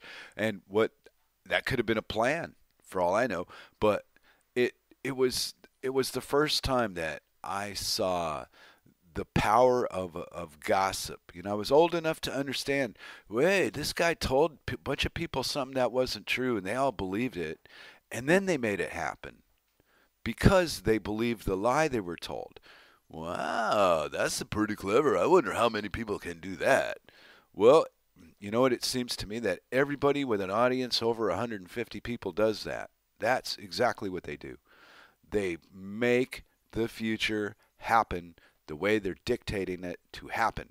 And they've got all this little machines out here, little lined up in rows, and I'm on this side, I'm on that side, all asking the superiors, "What do I do now, boss? Oh, what do I do now, boss?" And all all that, all the ability to think that we were born, and we must have all been born with it, the ability to think for yourself at some time in your life. Where did it go? You know, why is it? Why is it a crime to walk on to drive on the on the wrong side of the of the street? You know, well, because you could run into somebody else. Well, why do you think we need to be told that? I mean, isn't that obvious? Here, I, I give you a, a reason I bring this one up. I had a friend back in um, in California. I was hanging out in the valley, and she had this big van, and we're driving down the road, and she's telling me, you know, and people kind of play with this line in the road like it's really a wall. And I went, what? Well, I drive down this road every day, and everybody stays on that side of the line, and I stay on this side of the line. Except every once in a while, you might have somebody, you know, look at their phone or something and weave outside the line and wreck. But these these invisible walls exist for us to to to engage in driving. Hmm. Now, although that was a little bit of a stretch, it got me to thinking about invisible walls. I never really could grasp that. You know, I've been a hmm, until my I don't know 30s. I was pretty much roving, roving around for years and years. I'd even staying put in a place for a year, up to three. It was still. Um, there was more time spent on the road in that 10 year period, I think, than actually settled down in, in one place. It was probably about 60 40 from 20 to 30 years old. But what got me to thinking about the invisible prison? I think that came after the internet, where I was verbally aware of, I saw it in everybody else, but not necessarily myself because I didn't. I didn't have this document. I didn't have that document. But it did have is the mother of all fucking documents, which was the passport. So I had to think about that. You know, I had to get the other documents to get the mother document. And if I'm against the first three, why did I do it? Well, without it, you, the only way to do what I wanted to do was to be um, to risk my freedom instead of spending a few dollars and a few miserable hours um, playing a, a paper game. And it, even though it's it's real in the travel world and it's real in the financial world, some part of my mind just it considers it like a game, like a I'm still like a little ten year old and I'm buying um, Park Place. I got Park Place. Ooh, whoopee doopie. But I don't I don't flaunt my passport. I don't carry the damn thing. Uh, I don't physically use it but I'm very aware of the power that comes from this stupid fucking little piece of paper. And it represents me in society. So, in one way, the deceit and the lies of government fuck me, and in another way, I can use the deceit and lies of government to uh, make my my life more comfortable with the game that's played in government because I have the wherewithal to fill out the fucking documents and do that bit. But taking it seriously to a level where I'm a better man than you are because like uh I hope Rob doesn't get mad at me, but Rob said he couldn't get a passport because of legal problems. And I don't feel better or more uh, successful than Rob. I just think that uh, I got I got through life uh, unscathed by the man, so to speak, in ways that it hit other people, like Vinny. Vinny did something stupid and, and when he was younger, and, and he ended up doing prison time for it. But in the middle, between the crime and the and, and the time, he went out and had a, a little fun at the the expense of you know further charges. I guess you would say, but he said he was on the run for a while, but he finally gave up and wanted to get his name cleared up, and, and he did the thing, you know, to please the state. I don't think that he did anything uh, more than that. That's the way I hear Vinny tell me when he's talked about it. Because the people in your life, sometimes it's more important to please them than it is to stand for your, you know, your own independence. Uh, it's one thing when you're independent and you're alone. When you got other people involved in your situation, you're not independent anymore. You got a partnership now. So your freedom is gone. I don't know how many people look at it that way. I know Cirque does. We we came to agreement before we um, actually. Well, I don't know how would you call it. We talked our way through um, into understanding. We're giving up the freedom to do what we're going to do. You know, otherwise there's no point to do it. You know, if if you're if you're not serious, just don't don't bother. I think was the mutual. I mean, in the long run, the that would be the easiest way to, to verbally explain it. But the uh, the magnets were working on fucking ten that day, and uh, you know, things just I'm stuck. There's no there's no explaining how I feel to other people. Either you can see it or you can't. And most of the people that have come over, my brother even said to me, he goes, "Wow, this this woman's got you, got a hold on you, huh?" And my brother and me are not very uh, talkative and close like girls or any of that. So it was kind of strange for him to even make a comment about, you know, my my present relationship when he'd usually just ignore it. Wouldn't say anything, didn't have an opinion didn't want to know the the girl I was um, dating with, living with, involved. He didn't have any interest in that. But when he met Cirque, he noticed that there's something different about this. Hmm. And as long as it's a common consensus, I think we were talking about. weren't we having a conversation here about uh, getting reinforced verbally? You know, you get yeah, Tom, Tom and me. He was he was throwing ideas that he has about America and things that he would expect me to have a, a physical, hands-on knowledge about, and that's that. I guess that's where where it comes down to. You know, you are what you what you've done. I mean, shit. I know a lot of people want to play in the NFL and all that, be a movie star nonsense, but you know, reality dictates that being a good person is a 24 hour a day job. It's a lot of fucking work to be nice. I think it's a whole lot easier, like for me to get on the RLM and, and spar with Hansel about nonsense and give him a bunch of grief and call him names. So I got bored of it finally and, and just blocked him. Done. I, I don't want to do it no more. And I told him I you know, as long as it's amusing me, I'm gonna I'm gonna take shots at you on the RLM. But no, we've the uh, the joke is dead. I had a lot of fun. Thanks, thank you, Hansel, for playing along all this time. But I've outgrown you now, and uh, now we'll just reminisce about the good old days. Like me and Vinny will make a joke about you here and there, but I'll be damned if I'm ever going to read any of the crap you type anymore. I've had enough of it. It's always too rude, too insulting, and you know there, there's no need for it. You, you never bring a, a ray of sunshine. You're always raining, and uh, the the plants need a little sun now, so we need a break. And that's my way of doing it. And well, so I can't disengage unless I disengage. I got you got to be out of sight to be out of mind. And even out of sight, I still know he's there. my my little Nazi pal, you know, raining on all, all the Fox News and all the interesting things that are going on in MGTOW and tweaker cam and all that robot sex robot crap. Well, it, it's entertaining, but it, it doesn't solve anything. And what I find that does solve things, well, that's not very popular because the person that has the problem has to do all the work.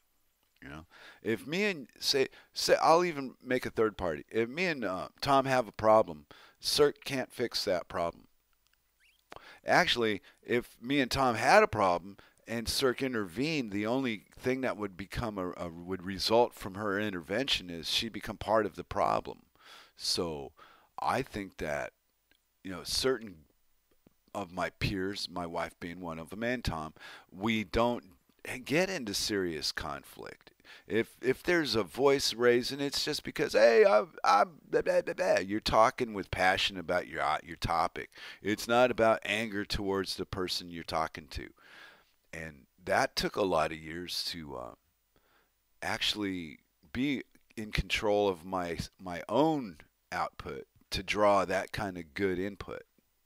And I think you get what you put out in in life. So being us, I like I was bitching about hands. I was getting so much hands, and it was uh, making getting my attention so much of the negative of it that I had to cut it out like a tumor and just pass it on. So now me and Vinny are going to go on, and we're going to do a Tuesday night show for the benefit of our hardcore dorks out there that uh, just want to be, you know, kept up on on what the hell's going on in Dorkland, you know? What kind of stupid jokes or stories you got this week? But as far as um, uh, fixing anything, the only thing that I've been able to fix ever in my whole 59 years is me.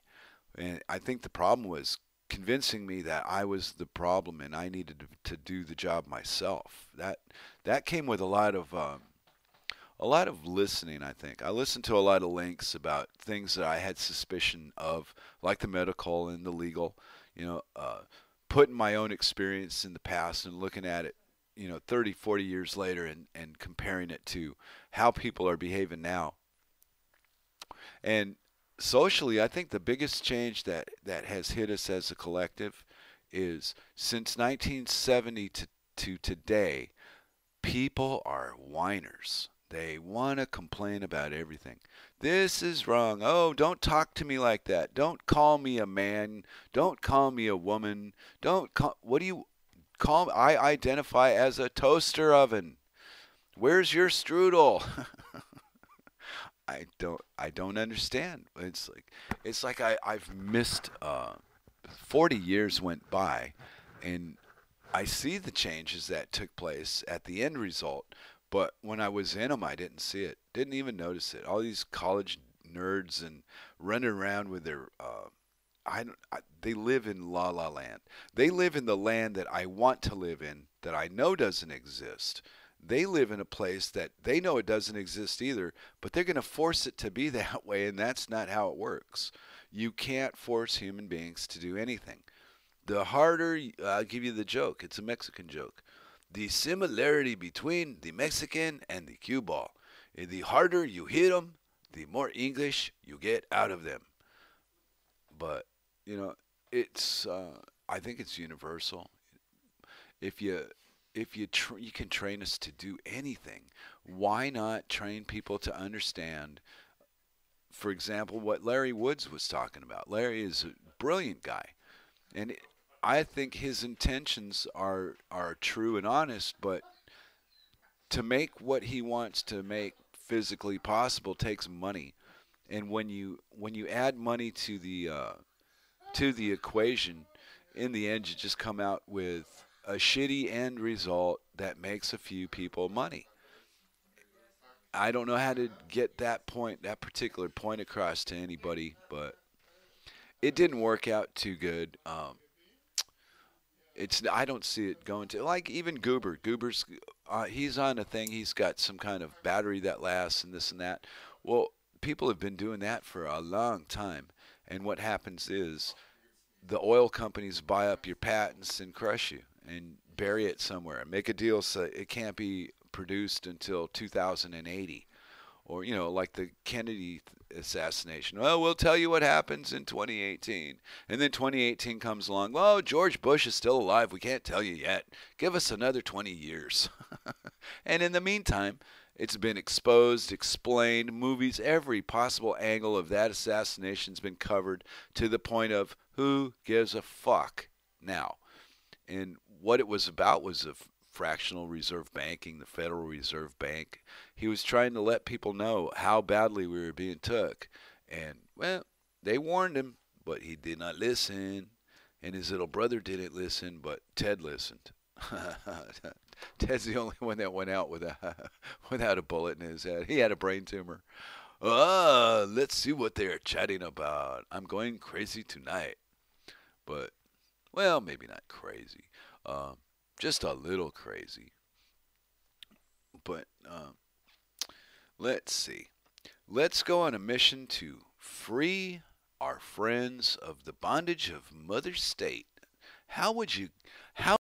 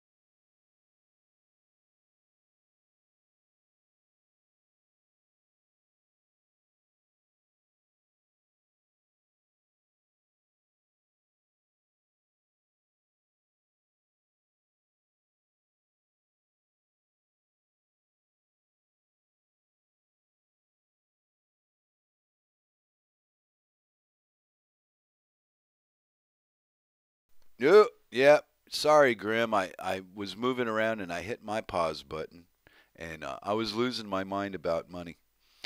No, no, no. It was me. I'll wait until it catches up on the RLM delay. Told you I'm dangerous alone with the radio. but I'm doing the best that I can. Yeah, I sure did. That's right, Moose. No. Oh, yeah. I got no, I'm still on the RLM. Uh, I get. I don't know if I'm on or not. I'll keep talking, but Dork's telling me to reboot. I think he's kidding. I just pushed the. Um, I pushed the mute button on this here fancy. Wait a minute. Okay, Dork's telling me, am I, am I off? Wait a minute. I'm on. I don't know. I'm flying without a net tonight, so if I. Yeah, there she goes. No. Yeah. No. Yeah. I don't know. I hit a button. I was doing my I miss Mary on the Dork Table button pushing thing. there you go. Hey, cakes. Didn't mean to panic you. Think I had a stroke on the radio while I was doing it live. Thank you, Miss Kate. Uh, yeah, I, I screwed up. I, I, I do that occasionally. Not that button, the other button. I know, and it, and it's got a big red light too that comes on, and I'm so blind that if I don't look right at it, it doesn't get my attention. It's very sad. I know, but uh, here, let's go to my notes and see what I find. I found. Oh yeah, I mentioned this too before, so let's pass that one. But I miss my train wreck from Arkansas right about now. But you know, uh, this is a really uh, personal thing to do the radio without a without a script and without a plan. Just to get on here and, and just do it and see what comes up. And it's that sometimes it's the topics are more interesting than other times. It's uh, it's not easy to be me, but I would rather be me than be you. I think. Uh, and here's something I, I got my notes here. You ready for this? You guys ready for let's chat about Flash's notes? And one note I wrote was, I know the shit that other people don't care about. And I think that's what I was getting at with, you know, I know this stuff about Rockefeller medicine because I lived through it, survived it, got pointed to looking at it, looked at it, and went, holy fuck, that happened to me.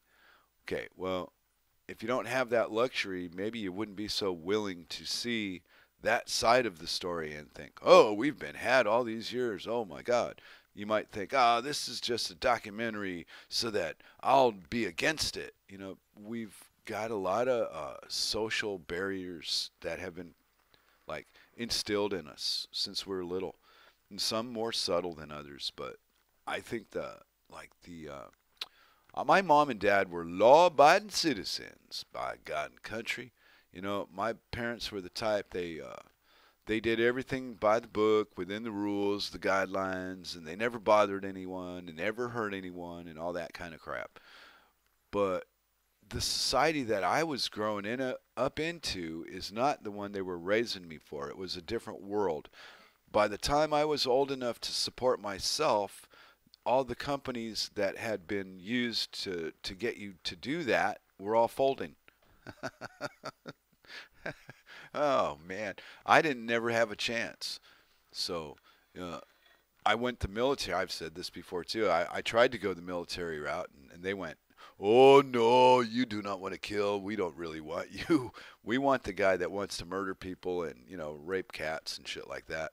And me, I just wanted to use them and go to school and, and maybe get a, a. I was thinking at the time, I was only 16, forgive me. I was thinking law probably would have worked out for me. That seemed to be uh, the skill that I was, you know, given and the path that at the time would probably produce the, the finest results at the end but something happened on the way to school one day in like 1972 or 3 and I never looked back. I went, no. They they tried to get. They've always said that Richard Nixon was born in Yorba Linda, but he wasn't. He was born in Whittier, California. And there's even a the school that he went to. I think it was in Whittier. Anyway, they were trying to get me to to go to this school, and I was just about to turn 14, and they were setting up all the tests and all this crap, and I said no. I went fuck this, and I left home. I was gone about two months before I got caught. It was the very last time that I'd, I'd taken the uh, run away from home to solve my problems uh, route, but it worked. They they lost interest in me because now by that point on the in California in the records, I was a habitual runaway, and I'd been arrested for um, pot and all kinds of. Well, no, I hadn't been arrested for the pot yet. That was coming in the future. But it, I think the habitual runaway and you know interacting with the cops at such an early age gave them a reason to just lose interest and go on to somebody that wanted it. So I I thought of it as I beat them, I escaped their trap. But my parents thought I had ruined my future and I would never become a lawyer and you know be a rich guy. What I didn't know at the time is I never had any intention of being that. I didn't. I never wanted that kind of life. I've always been uh, happy with whatever I'm around. If I'm around a, a in a park, I'm happy in a park. If I'm at a hotel with you know tile floor and seal, I'm happy there too. It doesn't. I adjust me to the surroundings I'm in. Now, the thing that changed here in Denmark is the surroundings don't matter. I'm comfortable in the society for once in my life. And that took a lot of years to find a place that I didn't cringe every time I saw the fucking law or every time I had to go interact with somebody and do commerce, I would just, oh man, I got to go to the fucking store and do that. I, you, why don't you go? Here, I'll throw you here an extra 10 bucks. Don't, you do it for me. And now I'm the one that, that goes to the store and I like it. So the only thing that I can really attribute this to is something about me changed. Because life is still the same overall. I mean, there's just as many status and voters and flag wavers and football players and all that here as there is anywhere else. It's just the, the, amount of them is smaller. So it's not like they travel in groups of 50. Sweetie? It, you know, people are. Uh, they're more dependent on the next guy. You know, when when you live in a smaller community, I didn't know this until I started to to look at it. Actually, when I grew up, I grew up in a city, and didn't matter. There was so many people were just replaceable. You know, if you if you lost a friend, you could make five more. It didn't matter. Now out here, if you lose a friend, it's it matters because there, there's nothing to um, there's no external shit to be thrown at you so that you get into that mental oh i'm right and you're wrong and da da da let's fight let's go outside I, I haven't seen that in years and i don't think it's because of my age i think it's because of the places where I've ended up living. Well, there was a lot of people punching each other in Scotland, but they they grew up together. That was their way. You know, they'd go to the bar on the weekend. And two guys would just have, be have a problem and just two punches, and then it was over, and everybody go back to normal. Where I'm from, two guys punch each other, five other people get into it. It's a full blown riot out in the parking lot. You got paramedics and cops. So I I went, wow, this is good. When I saw the two guys fighting in Scotland, I went, wow, punch, punch. That was that, and that and they called that a fight. It was like, okay, I I've seen uh, my father's hit me harder than that, and when then we had a beer, whoop whoop. But uh, that was a joke, uh, an exaggeration. I drank with my dad, but not after he punched me. that would have been interesting, though. Nah, it wouldn't. My father had a terrible temper. Oh, that poor guy. He he he didn't uh, he didn't see life so much differently as I do now towards the end of his life. And I was living in North Carolina. This is, I think, the the only reason I really agreed to go to Scotland in the first place was because he'd called me after uh, after I went through all the paperwork and got the paper the passport renewed and all that. Well, he called me and and uh, his tone was different. He was uh, nice, but you know, after the lifetime of not nice, my partner at the time was sitting there kind of listening to the conversation and and I was being nice, which was so weird for her to see in the first place cuz me and my dad didn't uh, through all the years that I, I communicated with my mom, my father never wanted to talk to me about anything. So when this finally did happen, I thought, wow, he finally he finally gets it, and he did finally get it. But I didn't get to Scotland until he was dead eight days before I got there. So that that eight days, uh, it didn't really do it. You know, it it doesn't change anything. He told me what he had to say, but I didn't get to sit in the room. He, when you know, there's a difference when you when you hear it on a phone and when you hear it in person. And uh, luckily for me, I'm not that sensitive. I think I was satisfied with with what I was given by my father, but I sure wish he didn't. You know, we always have regrets about stuff that's just ridiculous. But if he would have been himself in his life instead of the pretend guy to succeed and get through life without all that, you know, without he should have took the trouble on, but he didn't. And in a way, that that's what the conversation was about. Was I was right about my choices that I made for myself, and and he was not pissed off at me about it anymore. So, you know, some people never get to hear these kind of things in the first place, but I would have I went there to hear it face to face, but I didn't get it. But I did get two and a half years of my mom, so that was kind of cool. You know, when I got there, I didn't know my mom was uh, in a wheelchair either. That was news. My parents were very secretive. So my father was ill, dying ill, and my mom's in a wheelchair. That's the the secret of behind going to visit them. They didn't tell me all the bad stuff. They they kept that private. So when I found out, it was it wasn't like uh, I didn't feel cornered. You know, well, who's going to take care of you? I felt, uh oh, here I am. This is why I'm here. And I spent a lot of years avoiding talking about even when I was there doing it, telling anybody why I was actually in Scotland in the first place. Because, you know, on the internet, everybody's a superstar, and oh, look at me, how wonderful I am.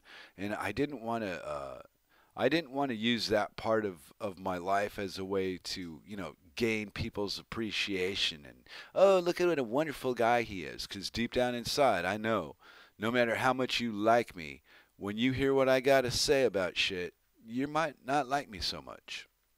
And uh, as time went on, I got isolated. My partner left, didn't have any intention of coming back. I had no intention of going back to the States. So I had the summer to kill. And eh, drinking got old, the island got old, and uh, I'm I knew Kelly from the grocery. So anyway, I started we started chit chatting, going out and having coffee. She's a good friend, just just a friend to hang out with because we were both outsiders on the island. And uh, then I met Cirque, and the rest of it. Oh, thank you, sweetie. And the two-handed. I'm a two-fisted smoker. You'd be so proud of me out there. But I think that uh, the lessons that I've learned in life were basically more decisions that I've made about the results the way that I interpret them. Because you can be in the same position I'm in and deal with it in many, many different ways. And I don't know if uh, I don't know how to compare it to any. You know, people are living their life and they're doing what they're doing. It's hard to imagine for me what you're doing because I'm kind of busy with myself. I'm very selfish. All I can see is what I do. I can see the results of what other people do if I pay attention, but I usually don't. Did I hit the button again? Oh no. Let's see. Let me read the chat. I've been ranting about nothing for a bit. Ah, uh, you are back, Flash Somebody. 1929 and 04 seconds from the Moose Girl. Yep, so I made it back to the rec- radio. Yeah, oh, Grim. Yeah, I was a bad seed in, in a sense because of that. Uh, my father, in one respect, brought out of that, you know, be your own man thing, but he didn't. Uh, he didn't put a cap on it, and it just got out of hand at a very early age. I took it. I took him very seriously as as soon as I understood, you know, standing your own ground. Couldn't have been seven, eight years old. You know, don't let people push you around, you know, because you're small and they're going to try to take advantage. Don't let them bully you. And I carried it into, a, but I turned it into a ver, a word game, not so much physical as to to see me physically. Nobody's ever intimidated. I'm not a physical threat. But if you have an argument, I've had a few people tell me it's a whole lot better to be for me than it is against me.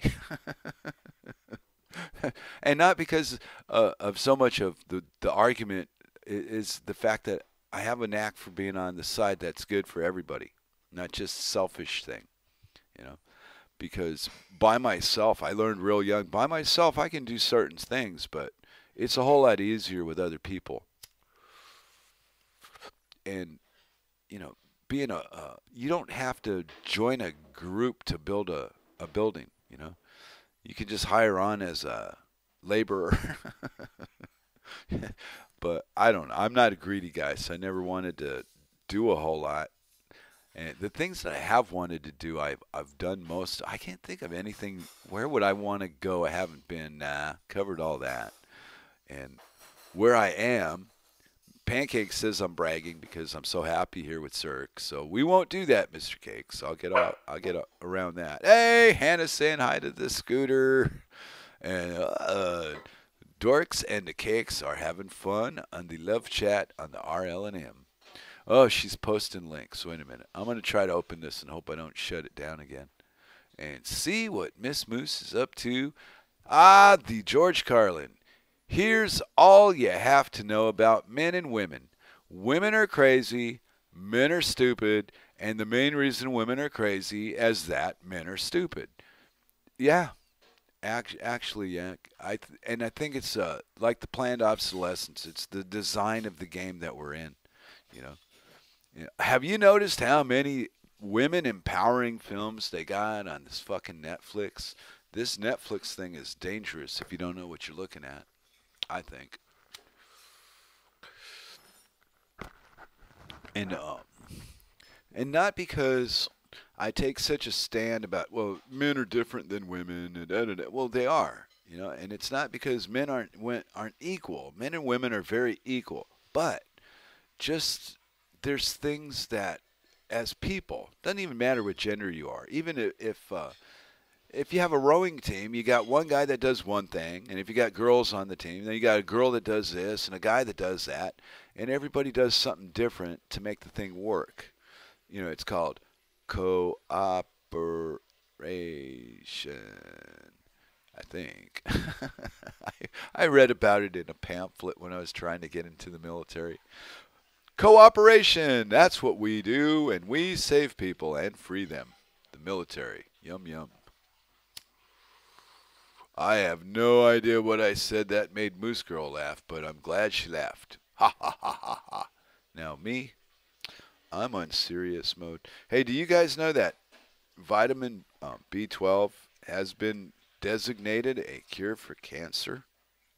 Actually, well, I've seen links about it. So,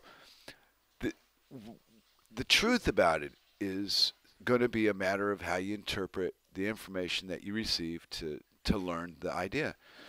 And here's the facts. The facts are the plant, the apricot seed that they're claiming the B12 comes from the seed of, is illegal to grow in the United States. Huh. Did they not play this game with hemp and cannabis once upon a time? I think they did. So it makes it easier for me to believe that if the United States federal government going to go out their way to make another prohibition and illegalize another plant, that plant must be good for me. So now the government's got me trained to think that if they're for it, it's bad for me. so it doesn't matter what. See, this is why I don't want to vote. You know, it don't matter what side of the coin you're on. At the end, you're going to come out unhappy with the result. So why participate in it? You know, maybe if if enough of us stepped away maybe there'd be people that would go, "Hey, this thing doesn't work, does it? What can we do?"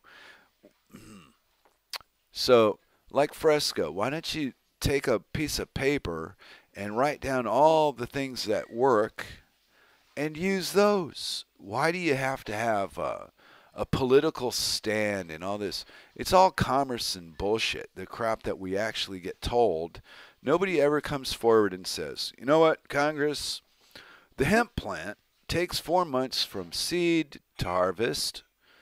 It produces this much, this, this much, that, and we can make this, that, and the other out of it. No, what these fuckers do is they go, well, how can we write this law, slap some mercury on these poor mofos, and get them to buy it from us at a premium price? Because, well, if they don't get inoculated, they could get sick. Well, uh, here we go, and it's things like that. You know, don't doesn't the guy that get in, gets the inoculation understand that what he's being inoculated with is the illness, so that his body will produce a resistance to it. so you're you're getting sick. You're paying people to put sh- and then they add stuff to it. Read the ingredients; they're incredible. Mary did that once, and I went, I don't even know what half the stuff that they tell you is in it, let alone do I have the ability or the interest or time to go look up every fucking ingredient and then the weight of that ingredient in a you know in a syringe that they're gonna put whatever 10 milligrams or something of something in you and then break all that down in all its little components what they don't tell you is that some of that shit doesn't work for time. years go by, and as those years go by, whatever you got inoculated was working on your last nerve over a period of time. And then, boom, you break down. Then you need to go back to the people that gave you the fucking shot to fix that. you wouldn't have got there if you didn't get the shot. And if you'd have got the disease, instead, your body has an immune system and if you didn't abuse the immune system with all this crap from the grocery store, it would work and you wouldn't be able to be conned into believing you need to be gotten sick to build a, uh, an immunity to the disease that you might never have even gotten. wow, what is it? Three card monte on steroids. You know, bait and switch. They ah, they bury us in all the details. Let's see if we got. Hey, Woody showed up. We've got barbecue. Clean that fucker up. Last person on this property left it. Hey, they're lost. You're gain. Pretty much brand new Weber. No tank, of course. Oh well, you give you you're gonna have to get a tank. Woody is our uh, he's the one that left Seattle to go live in a non-disclosed place somewhere around Tucson, Arizona, and be a desert dweller. I think Woody's happy with his choices. He seems all right with it. I've been keeping up on his chitter chatter. He's been working. And the add on going to the uh, real estate school. That that's brilliant. If you know if it works out to be something that you you're interested in, because I had I don't know if I've told you this or not, but I had a friend, blah blah blah. Uh, she my, my relationship at the time's daughter wanted to get into real estate and got the books and all the interested and da da da and then took a look at it and realized it was too much for her. It wasn't what she thought it would be. But my friend the bartender said, "Hey, what's she going to do with the books?" so I connected the two of them, and today the bartender is now a real estate broker. But you don't know. You never know until you try something if it's going to interest you or work out. And I saw Woody going through the uh, the process of what were you getting your fingerprints or something, some kind of licensing part of the program, so that you could buy and sell real estate at the state level. I don't know that gobbledygook the state gives you. And finally, oddly enough, Cirque told me when when we came out to look for a house, the the housing here is done differently than it's done where I'm from. There's a, a different way to, to go through the banking to get a to purchase a property. And but the details are all the same. We'll never own the property. We we rent this from the you know we rent it from a bank of some kind or another, but the uh, the intrusion and the hurry to, to get us behind on the mortgage so they can evict us and throw us in the street doesn't exist here. There's um, I think there's more there's more concern in Denmark to keep you where you're at and help you progress than, than there is to either hold you back or knock you down. And that's, of course, the product of overcrowding. You know, there's so many people in the, the big city, even in Copenhagen. I thought it it was a small version of Los Angeles, California in the works. So, but it's uh, it's not going to grow. It's it they're they're uh, the Danes are not welcoming the uh, refugees that the free world made in Africa.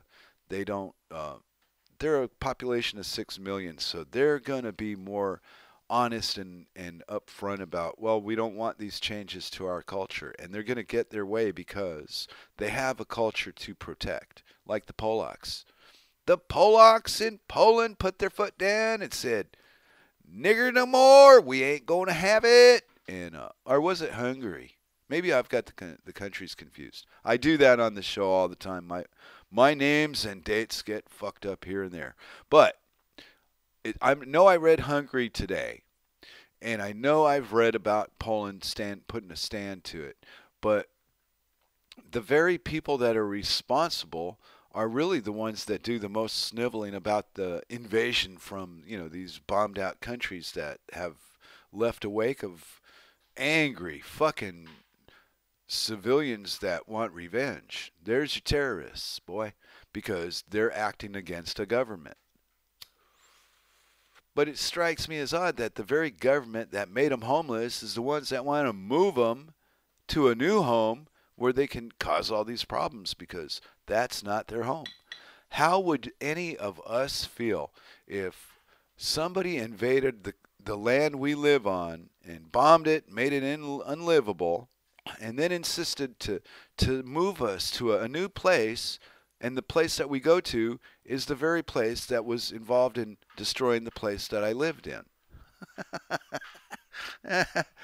and all I ever see on the links is fuck the Muslims, fuck the this, fuck the that, but never stop the bombing.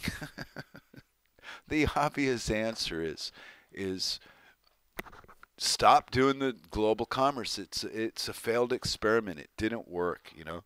But nah, they've got derivatives markets. Well, I know they're like a hundred trillion dollars in debt on that. they got the the Rothschilds want their cut from the uh, from the Federal Reserve banks, all their central banks, and the the global debt to them is like forty trillion dollars.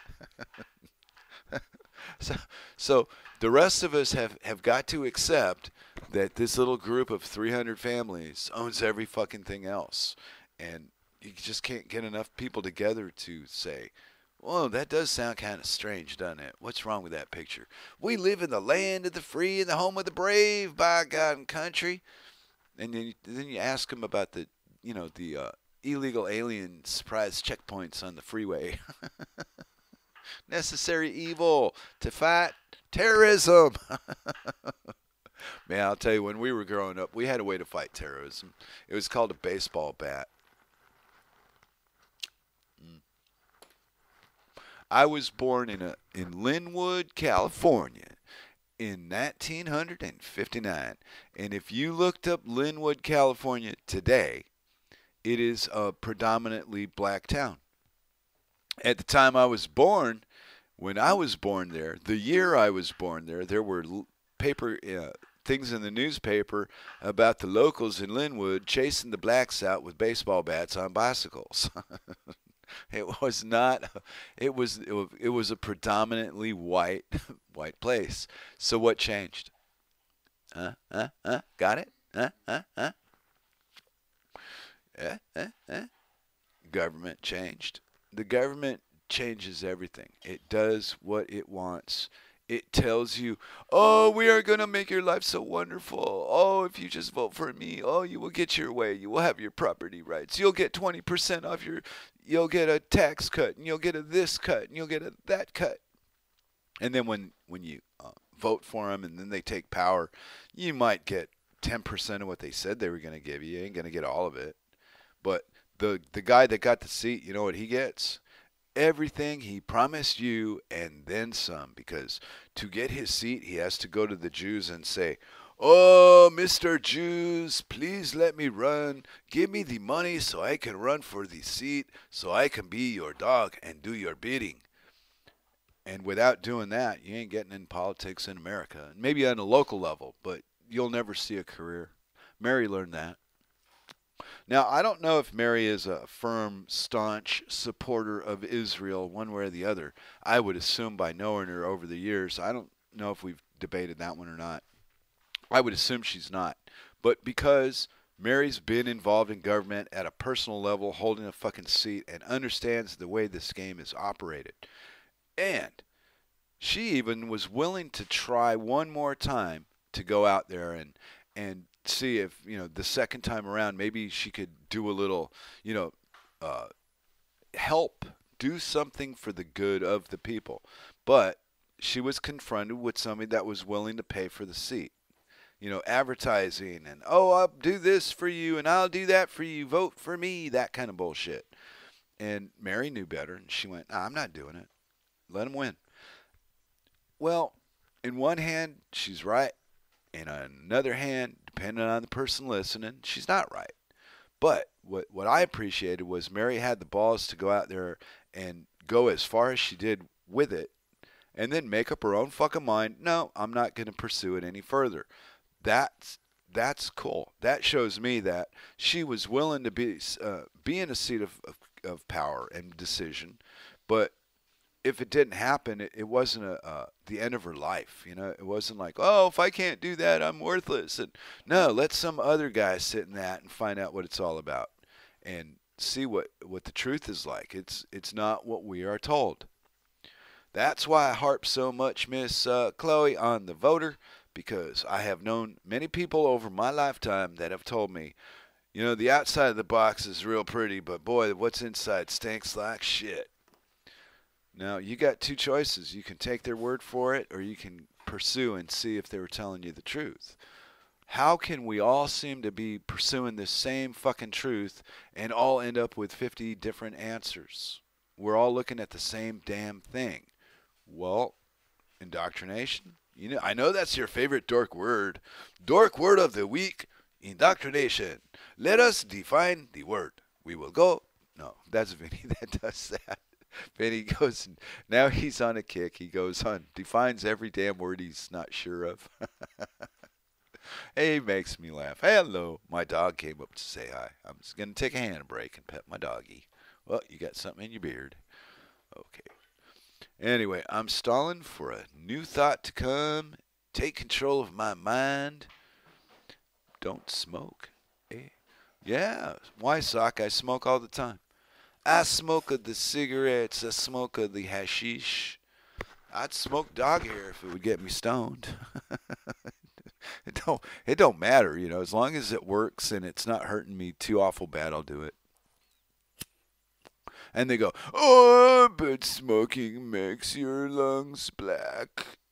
And, and I think, well, nothing that a little swimming, you know, if I started to feel any kind of uh, ailments coming on from my smoking, there's a swimming pool down the road, and I could just go down to the swimming pool a couple times a week and get some exercise and keep whatever ailment I have under control because unlike other people, I ain't living forever. Huh, baby? My dog's got her face on the table. She's begging me for something. I ha- oh, she's shaking my hand with her paw. She's a good girl. How's that, Chloe? I know you like dogs. and my dog's all loving on me right now through the dork table, and she never does this. But let's see where the conversation is going to take me from the RLM. But yeah, I smoke. I already said that part. Oh, I'm going to read what, what he says. I had some worthless politician, GOP, ask me why I wasn't campaigning for him. Called me at my house. Wow. Did well you must have signed up on a list so they could find you, right? Or was that Hmm. No, he goes on. Said I remember a conversation we had as soon as I graduated from college when you came to my door. I said, You are worthless. Don't call me anymore. wow. Yeah, I, I did a show with Woody, too. Me and Woody uh, bailed me out of a solo Tuesday night, one night when uh, Vince. Could, Vince had some computer problems. He couldn't get online. He was trying, and, and uh, Woody came on. He even took a shot at his own show. Thought it was very entertaining, by the way, Woodman. But like yourself, this is not the easiest thing to do alone. I don't know why it's so different with somebody else, but alone, it's a it's a new uh, it's like a new place. It's like like I always say, I'm talking to myself, but there's a few people listening, but they can't say anything. So, and because of the delay on the um, chat, I'm always I'm always off. It's the funniest damn thing. Oh yeah, I'm a solo. I'm a solo, so solo. I gotta make up voices just to think I'm not alone. Ah, gah, gah, gah, gah. Hmm.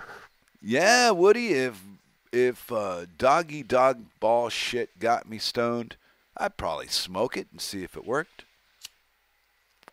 But you know, as a joke, because I saw up in smoke. Remember, he had that bag of Labradoodle, what Labrador because his dog ate his stash and he had to follow him around for three days to get it back. yeah, yeah, sock. I'm I'm doing this wackadoodle shit, and tonight I don't know. My mind will not uh, focus on one particular thing. I'm just bouncing around from idea to idea. So I did think of changing my uh, online identity and give myself an extra name. You know, like they hyphenate the, when they get married. I wanted to go flash somebody harder. you know, because Rob works and his vote harder. Rob Works comes up with some really good catchphrases. I like, and they all suck. That's that's the best one. And followed by vote harder. Boy, I'll tell you, like, I don't know. I do not get it for 50 years. Uh, people have been telling me, oh, look at all the changes. And for 50 years, I've just been seeing all the chains tighten around the throats of the people that I care for the most. and a few people I don't even like. I see the chains tighten around their throats. I just don't care because I don't like them. Eh, so what? Eh. No, I'm kidding. I'm nah, it's been a terrible joke. Oh, but you know what? My wife did. My wife called my bluff on the alkaline water theory I have, and uh, she ordered some. Um, they're, I guess they're they're canisters, you know, small like a small thermos, and they got a filter in it to do the alkaline water dance to get the impurities out and then you know so that I can drink a glass of fucking water and actually not have chemicals in it because that's what they do. They do it here too. Or the water here has got clay in it, got an excessive amount. It's not like I'm I feel like I'm being damaged or anything. Uh, I just I'm looking for an answer to an old question. I've never been real good at uh, holding a bottle of water and carrying a bottle of water everywhere you go, and I'm an under eater, So I, I as well as under eating, I under uh, what do you call that? Hydrate. No, I don't drink enough fluid. So I thought if I went out of my way to make a big deal out of it, it would get my attention enough so that when I get up in the morning, which is what I should do because it's good for your health, is to have a glass of water. And when I read the links about the alkaline water, it was so impressive to see. Well, it does this and it does that. It was a great sales pitch.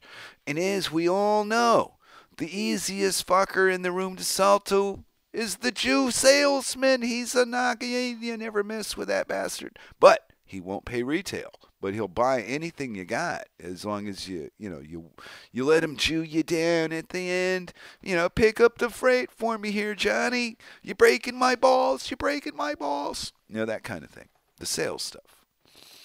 I don't know when is the woody show starting? I sure like to see that. Or see that sorry woody hear that. He's uh he's got a good approach on the radio. I was impressed because for me this is very difficult. I, I don't find it easy to sit down and, and just communicate my inner being with uh, a crowd at the RLM, but I, I give it a shot. I did this because Grim said, he goes, well, nobody's, there's nothing going on during the week. And I personally understand that the public's not desperate enough to make uh, a, a, site like Real Liberty Media uh, important yet. That they're still they're still in, in the they're still in the machine. They're not done yet. But when they are ready, your your server better be ready because you're going to get traffic. Uh, and speaking of that, you got another site going on, the Old World Truth and brought back uh, realliberty.org. And he's the guy that was originally working with Mary, and then he left, and then Mary and Cirque were together, and then they decided it was a better left uh, un, undone, and they undid it. And now they've used it's. I think it's just basically the maybe the licensing or something, some technical detail. But they brought it back. But now it's called RealLiberty.org, and it's got a little bit of a lag thing going on. Uh, I can see why people are going to be a little slow right now.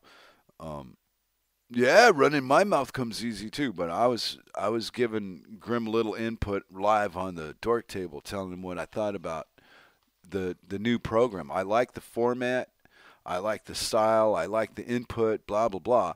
But there's some kind of a lag to the page. It runs real slow.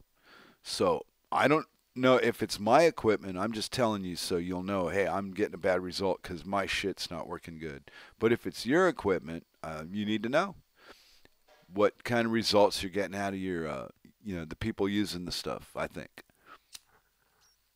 So if I sound like I'm being criticizing, I'm fucking being criticizing. You're a big boy. You can take it.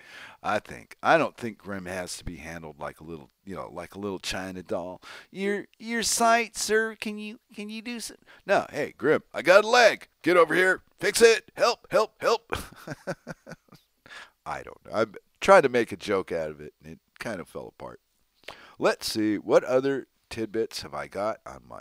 Hey, let's talk about belief. Do you be Mary was just loving when she found out the definition of the word believe from the, the origins of the word definition, not the Webster's dictionary de- definition that we use as a matter of daily common use. When you go digging out the, the the facts behind the facts and find out what we're doing and how we're doing it and how wrong it is, and there's no stopping it because we've been doing this all our life up to this point. So it's not like, oh, well, we'll fix it. But being aware of it is, I think that in itself has got a lot of power. Because we have bastardized the English language to the point of, what the fuck did that man just say? Let's see, what else, what else have I cut? Hey, We've got belief. We've got a jury of our peers. Have you ever heard anything so ridiculous in your fucking life? 12 random people, because they got a fucking driver's license, are going to gather in a room and listen to a bunch of shit about you and judge your future in the world based on the stories they're told. But it's it's an impartial jury. They don't know if you're guilty or not. Why, they'll decide that later. I mean, it it works on paper. You know, there's a lot of things in in our political life that when I look at them, I see how wow, the brilliant that fucking that's a great idea. But then when you try to physically enforce it, you find out, boy, this thing was a, it was not never meant to work. It was meant to do exactly what it does, but the people that started it lied to us. And here we are, t- 2018, and the very same people they've been lied to about the government their entire fucking life, and since the government ever even began, are still arguing about the merits of a Supreme Court fucking justice. I mean, ha- there seems to be a lack of reason amongst the, the adult population of the world today that if you can't learn from 1913 proves that the Federal Reserve Bank was a scam, that the way they did it was illegal. Everything since then has just been garbage. Why are you concerned about who they put on the Supreme Court? They could put Mickey Mouse in the Supreme Court and you're still going to get the same crap you get because the people that own the Supreme Court, they call them don't tell anybody I said this. Bank of America, Goldman Sachs, Coca Cola. Ringing a bell here, people? You know, anything that you fucking have to have, they own the people that you vote to make your decisions so that you have the illusion of you're deciding when you got nothing to say about nothing, and the truth comes out when you drink the fucking water and find out it's got poison in it. Poison or sludge from some chemical plant, dumping it openly into the fucking water. Thank you, honey. I just received the elixir for part two of Dorks in Space and Other Places. But yeah, I was getting kind of hot about that one.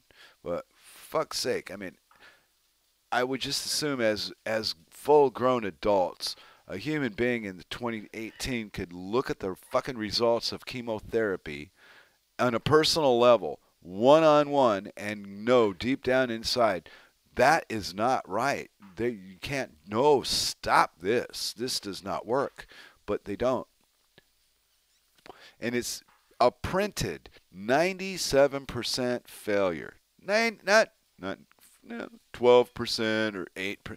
97% of those people, they all suffer, but 3% of them might live five years, and they call that a success. Now, if you go the other way and you go the natural remedy road, what you'll find is people's lives were saved naturally for no money because natural remedy is the cost of a fucking uh, powder, you know. I'm not talking your cocaine. I'm talking about like baking soda. baking soda's cheap. oh, here's that. This I had a brain fart about this movie, but uh, they have this program called Ozark, and I was getting onto it earlier because uh, they have a, a two of the characters are old married couple lived in the Ozarks generations and generations. They own the property. They've got a secret heroin poppy growing plants thing going on, but in the end of the thing, they're gonna actually one of them is gonna kill the other one, and it, it's set up so you see the the husband putting the knife in the pocket, and they're gonna go have their morning coffee walk, and they're gonna take the long way, and you expect to see the husband, you know, out there in the wilderness murder his wife. Well, as he's drinking his last sip of his coffee, he falls on his back because she ground up cherry pits and poisoned him with the cyanide in the cherry pits. So I don't think that people really understand how many cherry pits you'd have to grind up to make enough poison to do what you know the amount of it because it's a natural form of of the poison. So it's it's toxic and it's available and you could do it but you're not going to do it the way they portrayed it in the film to poison his coffee and that more you know they made it look like oh i just ground up a couple of cherries and made some thing put it in your coffee and now you're dying. Bye honey things are so exaggerated and, and done in such fast speed time that people don't take time to think about the process that what it takes to, to pull off the crap that gets done. Like 9-11 that took years of planning and fucking manipulation that we're not taught exists. We don't understand that. But if you were in the military you'd, you'd get it because the, the layers and layers and layers of military you, you know, is, privates don't talk to generals for a reason. but that's how life runs. That's how businesses are run. That's how governments are run. One layer to the next layer to the next layer, or circle of physically. Like you'll never get near Trump unless they want to let you near Trump, because you've got to get into the circles of of uh, of protection that he has protecting him and it, it's there's no other way to stay alive in the world no more at that level of money. it's kind of fun to watch. I mean, I I giggle a lot about it because, uh, well, for one, uh, I'm not in it anymore. Jeez, I haven't been to a city in four years and with any luck, I won't break down and give in to the temptation to go to the city. Because every now and again, and again, I get a mood where, you know, I want to go down to Freetown with Circle and maybe go have a smoke and a couple of glasses of beer and watch some band play some music. But we have a dog. Hmm. and I got the dog as a companion from the beginning. So I, I never, uh, I never planned to, to leave the dog alone and I've never made an attempt to find anybody else to watch the dog in my absence because that's my dog. So it's kind of a weird, uh, like a, an excuse, like having a kid. You know, I've got my little kid, and my kid needs me, so I, I can't go off and, and destroy my future anymore. I have to stay home and be a grown up. Somebody's got to do it. And Really? Let's see what he's saying. Ah, the the woodman is saying, running my mouth comes easy. Most people try to be rude and shut me up. With radio, I can say whatever the fuck I want. Fuck 'em. Yeah, and you know the damnedest thing about Woody is a very nice guy. I mean, if if you only know him through the chat, you might think he's got an edge and all that, and he probably has an edge. But uh, I've listened to him on the radio. I spent a little time talking to him on the radio, and I came to the decision that you're a funny fucker, and you know a lot of shit, and it will make you unpopular with uh, the living surrounding people. You know, they're not ready for us. They're not desperate yet. Mm. I don't understand that either because I look at the the degradation of the society and see people living in tents, you know, on the street wait a minute. I, I mean, when I was a child, that you didn't see that. You saw pictures of that from the 1920s after the depre- or the 30s after the depression, not not in the the new millennium when we have sex robots. you got you got some billionaire con man trying to sell tickets to the fucking moon. They never went to the fucking moon. They've never been to the moon. NASA's admitted they've never been to the moon. Actually, NASA admitted they've never been out of a certain layer of what surrounds the planet, so they say. Because there you go. Here we go back to the round planet. Whatever's out there, they've never conquered it. They they've told us they've conquered it. And there's enough movies and TV programs on there to both prove and disprove that it's been done. You take somebody that uh, that's familiar with sci-fi and they know all about spaceships and beaming up and you know food simulators and the Borg, Romulans. they they they overlook the control of these TV shows. You know, they've got people convinced now already that in the year 2400 we'll be galactic, but we'll still be fighting for resources. but but the men of Earth, they've all surpassed greed and, and wealth and hoarding, and now they're exploring out in the out in the galaxies, right? But they're still hoarding because they're always looking for more fuel to serve their fucking uh, machine they're flying around in. So nothing changes. But it's the illusion, the illusion of change is so easily sold to people if they don't know what change is. change in your diaper.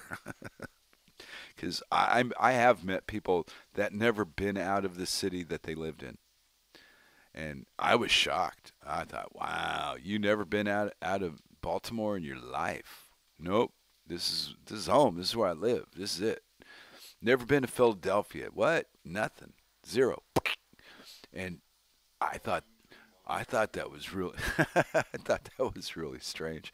Tom's got uh, got Zappa on his mind tonight. I think after the show, I'll play uh, I'll I'll play uh, uh, strictly commercial Zappa.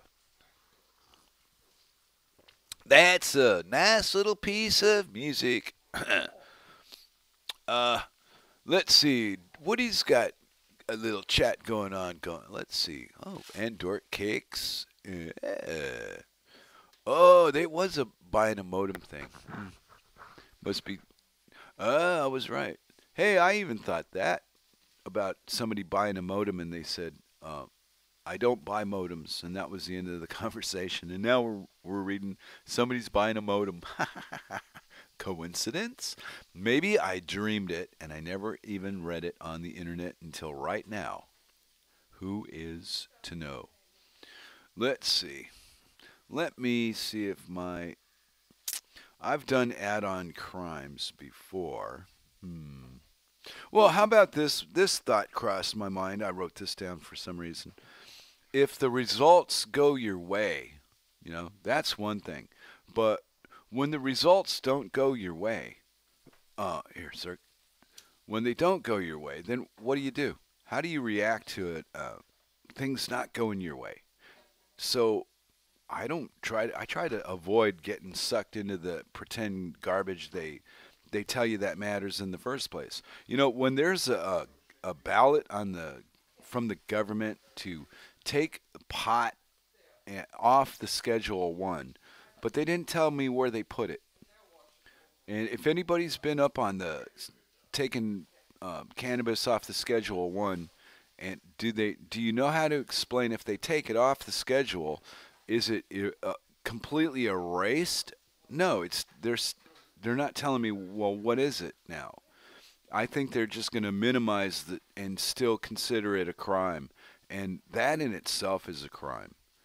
So where's you know where's the people that are going to come forward and and people in positions of change, you know, that can do something about it, and actually say out loud, we need to stop the prohibition well, they can't get past the greed of the dollar. And what they're going to do is they're going to let Monsanto, well, Bayer now, Bayer's going to have a patent on the CBD oil. I think they already got it. They got the patent so that they can charge $32,000 a year for CBD oil treatment because these people are so greedy and you know they're going to lose their customers so they want to make sure they get something for all their trouble because now they're going to cure you And when the, when this does finally come out and people are, are cured and the media carries the story and the morons start to catch it, things will have to change. But the problem is, is the Bayer people have manipulated the formula because they patented it and they, they must they've they've synthesized the nature. So they're going to get the result, but it's not going to be the same result you would get from a can a, an untampered with source of cannabis is going to bring you different results than the Bayer source of cannabis. That's what I think, but I can't prove it because I'm not going to go sign up on a CBD oil chemical thing and get use it. I don't even know how to explain it. But if I got cancer, I wouldn't I wouldn't use the system to, to fight it. And I think 90% of it is uh, what you eat in the first place. And I don't know, 59 years, if I ain't got it by now, I'm probably not gonna. And if I do, I think I'm the, I'd worry about it when it happened. But see, what we're, this is where I'm really against the medical people because how they got me with the high blood pressure, how, how, what stops them from, I go to see a doctor and I have a symptom of something that that doctor's selling a drug for. So, well, his job is to give me that drug for that symptom and then just figure out what disease matches it. Well, what if I'm just having that symptom for that day? How do I know it's not a temporary thing or you know, maybe they read the chart wrong. I don't trust the system enough to put my hands in, you know, put my life in their hands and anymore and let them tell me what I need to do outside of uh, being hit by a car, you know, trauma, something like that. But the rest of it, nah. I think it's all man made. I'm convinced that 90% of my illness is in my head. And the other 10% is just knowing which herb to use to control whatever the hell I, my mind let attack me. Because I got into reading a little bit about the uh, the makeup of a cell over the summertime. I was reading a little bit about it. Kind of interested me, and it says that every individual cell. This is uh, from the scientific people. So, you know, take it or leave it, but it's a good story. And they said that every individual cell has some form of thinking process of its own on an individual level, and they gather amongst you know they gather amongst their own. They they identify each other.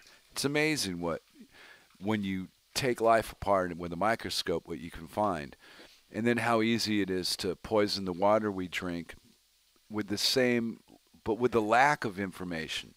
Just lie about the details to the public and they won't know any better. I mean, they're putting fucking fluoride still to this day in toothpaste, in mouthwash the easiest part of your body to ingest outside of a uh, a syringe is under your tongue.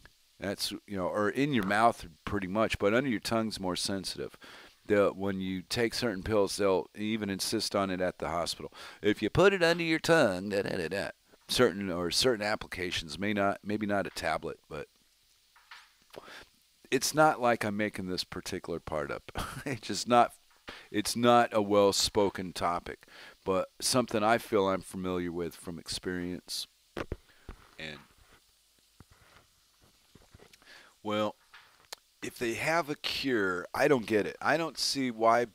See, Bayer buys Monsanto, the Empire Strikes Back. That was from Woody. And yeah, they're they're not the kind of people to come up with a cure. They've had a hundred years to come up with a cure and they didn't do it. All they've come up with is more illness, more diseases, more problems, more shoot this, more take that. And it's only started in what 1850. I was listening to, uh, uh, man, me and my names. I have such. Who was the guy I was listening to before the Dork Table Cirque? Clint Richardson. Boy, man, because he went off the air. Yeah, yeah, but I was listening to Clint, uh, one of his rerun shows, and some of the stuff the man says it's it seems to come so uh, harshly out of out of nowhere. but he's obviously put a lot of thought into his delivery of his knowledge. Me, I, I just say what I think at the moment, and if I change my mind, I go, hey, I, I thought that then, now I'm wrong, or I'll miss, I'll miss, uh, misconnect a name, especially with music and shit like that. All that celebrity stuff.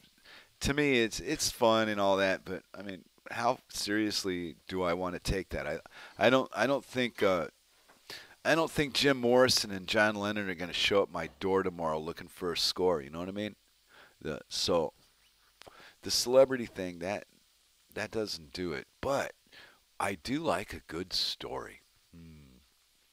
Uh, let's go with the chat. I'm losing my train of thought. Hey, I want to. This is Woodman. I want to create a suggestion box. Let me know if you would want to develop a suggestion box something where ideas go inbound, voted on, liked, disliked, something to quantify the results, etc. Spit out results. Yeah, that's interesting. But mob rule, is it a mob rule thing, or are you looking at uh, people's input on specific ideas, not ways to to uh, get into your wallet for fines and you know, oh, you broke the law. Look at you, you rode around your car without a safety belt, you threat to humanity, you $180, you know. 108, well, I don't even know what it is, but at the value of the dollar right now, I would expect it to be a three-digit figure because the dollar doesn't buy you nothing. No, well, not any any dollar doesn't buy you nothing anymore anyway. And Oh, I don't know. How are they going to prop this crap up again? Let's see. They pulled it off in 2008. That was smooth. My boy, my thumbs up to the bankers. Those fuckers have the balls of the lion. When those bastards should have been took out and publicly strung up, executed, the public gave them a trillion dollars. a trillion, a trillion dollars. There's there's no such thing as a trillion dollars, but you know who's got it? the government. mm. Yeah, Woody's even asking about maybe, perhaps you have an idea on how to create a bot for quantifying results. See, because Woody's a thinker. Yeah, he's he's mentioned that. He's said that about himself, and yeah, he is a thinker. And people like that are necessary for uh, a society to function. And the only element that society lacks is honesty in the, the people that are actually participating in the, the decision making. They get. There's two ways to look at it. One, they're greedy fucking slobs from the minute they decide to go into politics, or they're not. And when they get into politics, something changes. Maybe they get. I heard a version of this. Maybe they get a threat from you know people in black hats and tell them you do it this way, or we're going to go over and visit your child at four in the morning with a chainsaw. And as we all know, if you threaten people, most of the people that you threaten aren't going to fight back. That's we've been pussified down to. Oh, they're going to hurt me. I better do what I'm told. Uh, and then there's a few diehards like Woody. I would expect maybe Grimner, Rob Woods, um, Moose Girl, Dork Cake. You know, people that would stand their ground and, and not so easily be rolled over, or would think things through before they act, so they didn't do anything impulsive. But you know, we're hmm, we're not so easily fooled as others. So I looked at that option and thought, wow, it seems possible. Not like I'm I'm pursuing uh, making this my answer to that. I'm just saying it seems possible to me. So if I think it's possible, that tells me right right there. There's other people that think it's possible as well, but there's a mindset that go and goes along with even considering that as an option. You can't be supporting the machine and criticizing the machine at the same time. They made it clear with Bush, well, you're for us or you're against us. And wow, being against him is a pain in the balls. really doesn't go anywhere because America, beyond being a country, is like Europe or Africa or Australia. It, in the mind of the individual, it's an icon. It's a dream come true. It's that faraway place where all the answers grow on trees, and all you got to do is just reach up and just take one. And then you find out about reality, and reality says, well, they didn't really lie. It's just the the truth. Well, no, they they're not going to give it to you.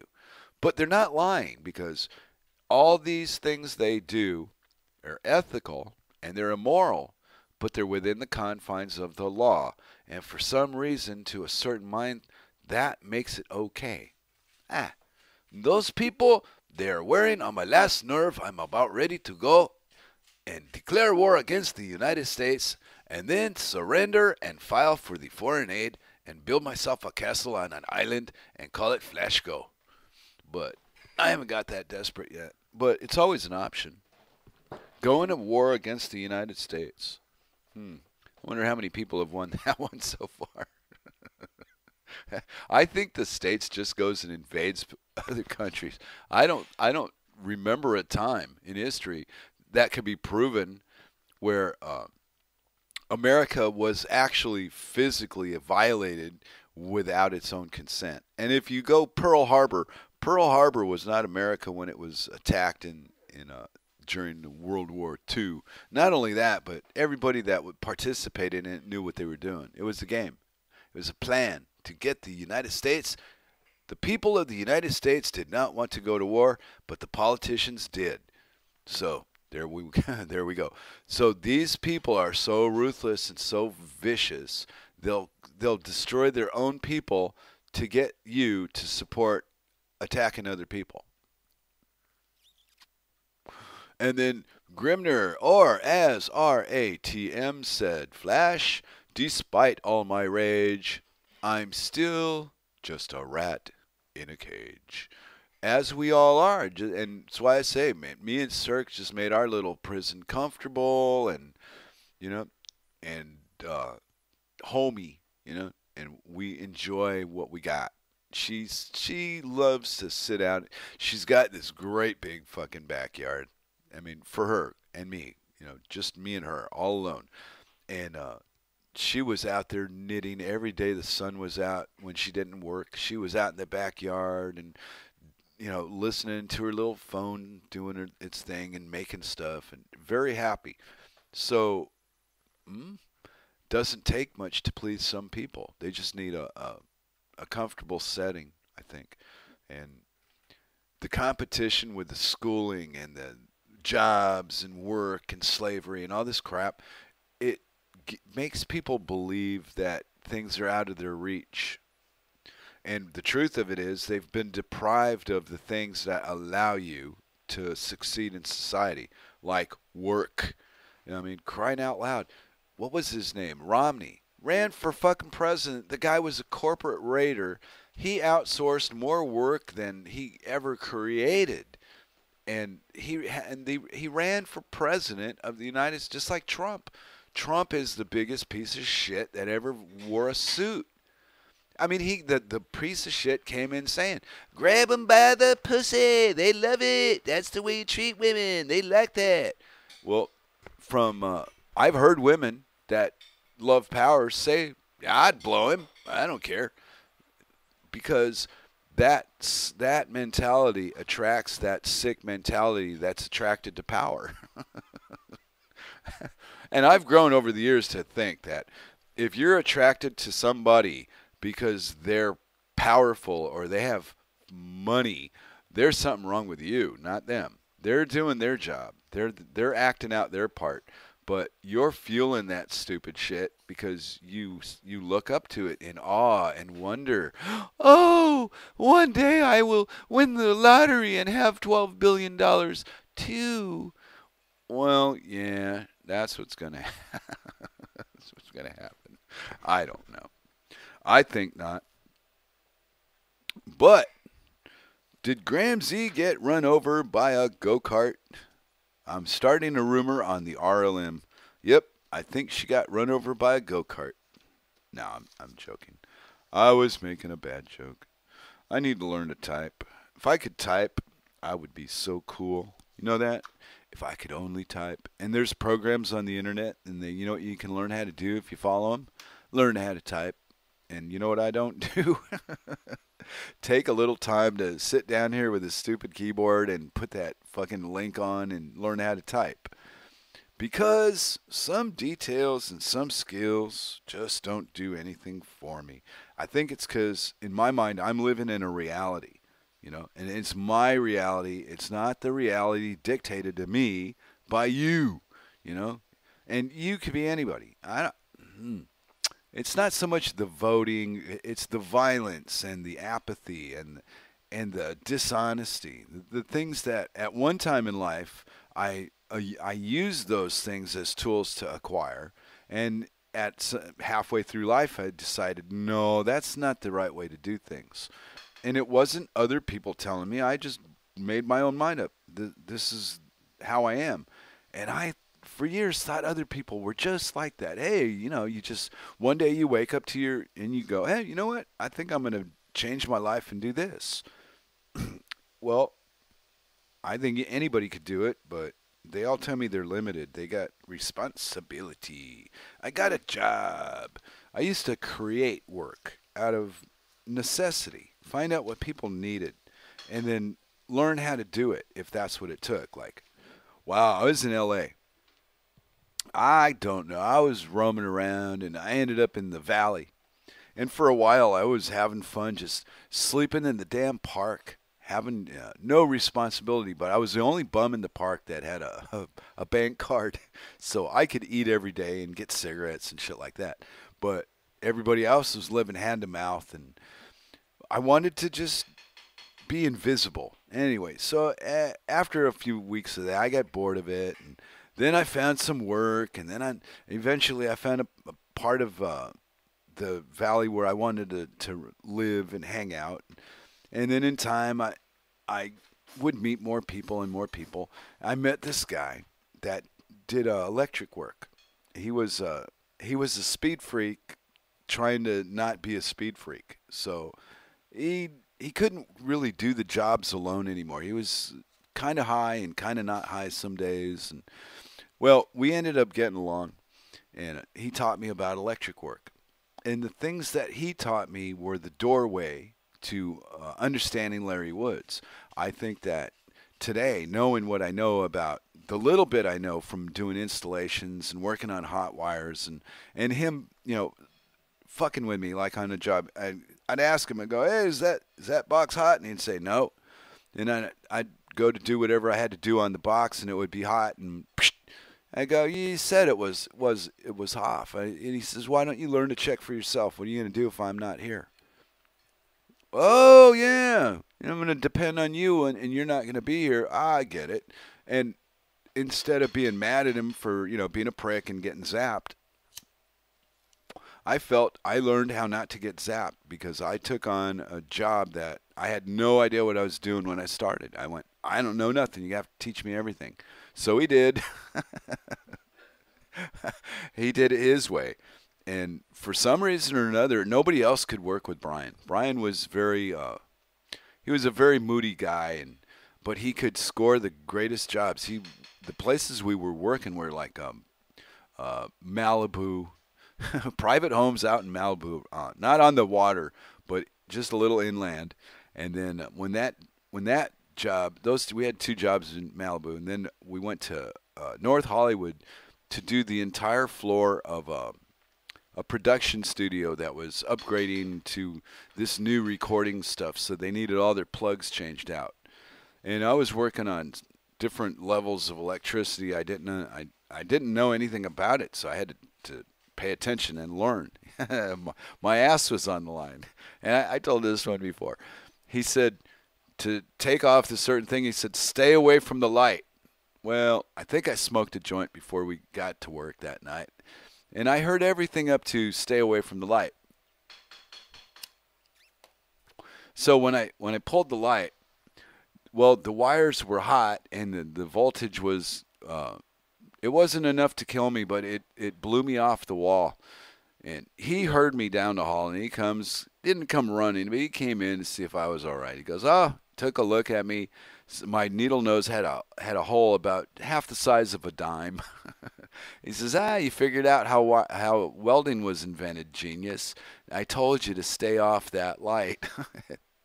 so, again, another, you know, sometimes some of us need that to learn a lesson. We we don't listen to people. We think we listen to them. I thought I listened to them, but until I took the action, I didn't really know whether I did or not. I just assumed I had. And over the years, I've acquired a little bit of patience when I'm playing with electricity. I don't assume I know what I'm doing anymore. You know, I've slowed down. You know, I was like 30. How old was I when I was doing that? That was 1990 and 8. So I was 37 or 38 when I was doing this, a lot younger. And I, ah, the lessons learned in life are they're so personal. You know, everybody sees what they see, how they see it, and all you got to go on is you compare something to something you already know, something you've already heard, and and there's no way to just enjoy a new you know, something new in life doesn't happen that way. It's it, my mind always goes to, wow, that was just like this, and this is just like that, or that should be like that, and it's not. Comparison, comparison, comparison. So I've tried to make more of a conscious, like a step towards stopping comparing every fucking thing to something else and just looking at it and understanding what it is that you're looking at you know, all that stuff's vibrating molecules and atoms to one guy, right? And to another guy, it's a tree. and somewhere in the middle is what it really is. But who knows? We we got the freedom, and I try to enjoy it more than control it. I go with it, you know. Eh, so the tree's vibrating. I wonder how come I can't see it vibrating. Hmm. Maybe it's because I'm not looking at it with the right information. I wonder. I saw a picture of two objects being um, seemingly making contact, but in in the, the magnification of the shot, it shows you that contact is never made. So I can put my two fingers together right in front of my face, and I can look at them, and I can push them together, but yet at some molecular level, there's still space between my fingers. so what I figured out was the nerves the nerves aren't they're not solid. You know, there's a nerve here and a nerve there and they feel the connection, but the eye picks up is different than what you feel. Well, where do you how do you even explain why something like that would matter to uh, a fisherman, a guy who makes a living, you know, doing this, or a gal that uh, does that, whatever have you. And common ground to get into these weird conversations, the internet and coffee shops. But well, I'll be done in 13, baby. So just keep me a plate hot, or I'll kill this thing when the food is on the table. Yeah, I don't believe I lasted this long it's uh it's not my uh it's not my strength to sit alone and be informative but i got a lot of i you know people say well knowledge and i've come to the decision i i i have a lot of ideas and i have a lot of opinions but i don't have is a lot of knowledge you know knowledge what what exactly would knowledge be i'll close the show out with this idea and when dinner's ready i'm going to make my goodbyes uh, but knowledge, hmm. I can't say I really know anything. I think a lot of stuff and and I believe and I look at things and identify them, but but what the fuck do I know? Uh, I don't know. I think I'm going to go with that road and it might sound some people take it and they beat me with it and go, "Well, that's just not committing to anything then." Uh, uh, uh. Well, I'm committing to uh, it could be whatever I want it to be. So I'm the one that's going to control that. And other people's judgments and opinions, uh, they sway my outlook. So I have to control the opinions that I'm going to listen to. And with the knowledge that I've acquired over the years, I'd say that if if I was on a side, I wouldn't. I would think I was giving myself a bad way to go. But in my lifetime, I've accepted that, you know, we live in a, a world of illusion, and whatever it is, it always turns out that the explanation is the opposite of what we were told from the beginning, no matter what the topic. Um, so regarding knowledge, nah. You know, and we'll go to the the world is round, the world is flat crap even it doesn't matter what it is. What matters is the side of the fight that you stand on against the other guy. So I refuse to even stand on the fucking argument, and that's the stand I'm taking. I don't even care if it's round. I don't care if it's flat. All I'm saying to people using this point is it's a way to to divide us, and it works. And they don't need to divide. I did. No. Wow. He says I went three hours. I think you're kidding. I thought I did too. Holy fuck. I okay. I got high. Good night, everybody. fuck. I didn't know. I I thought I was going. All right. I thought I went seven. Oh, I did go three hours. Whoops. See ya. I'm, I'm out.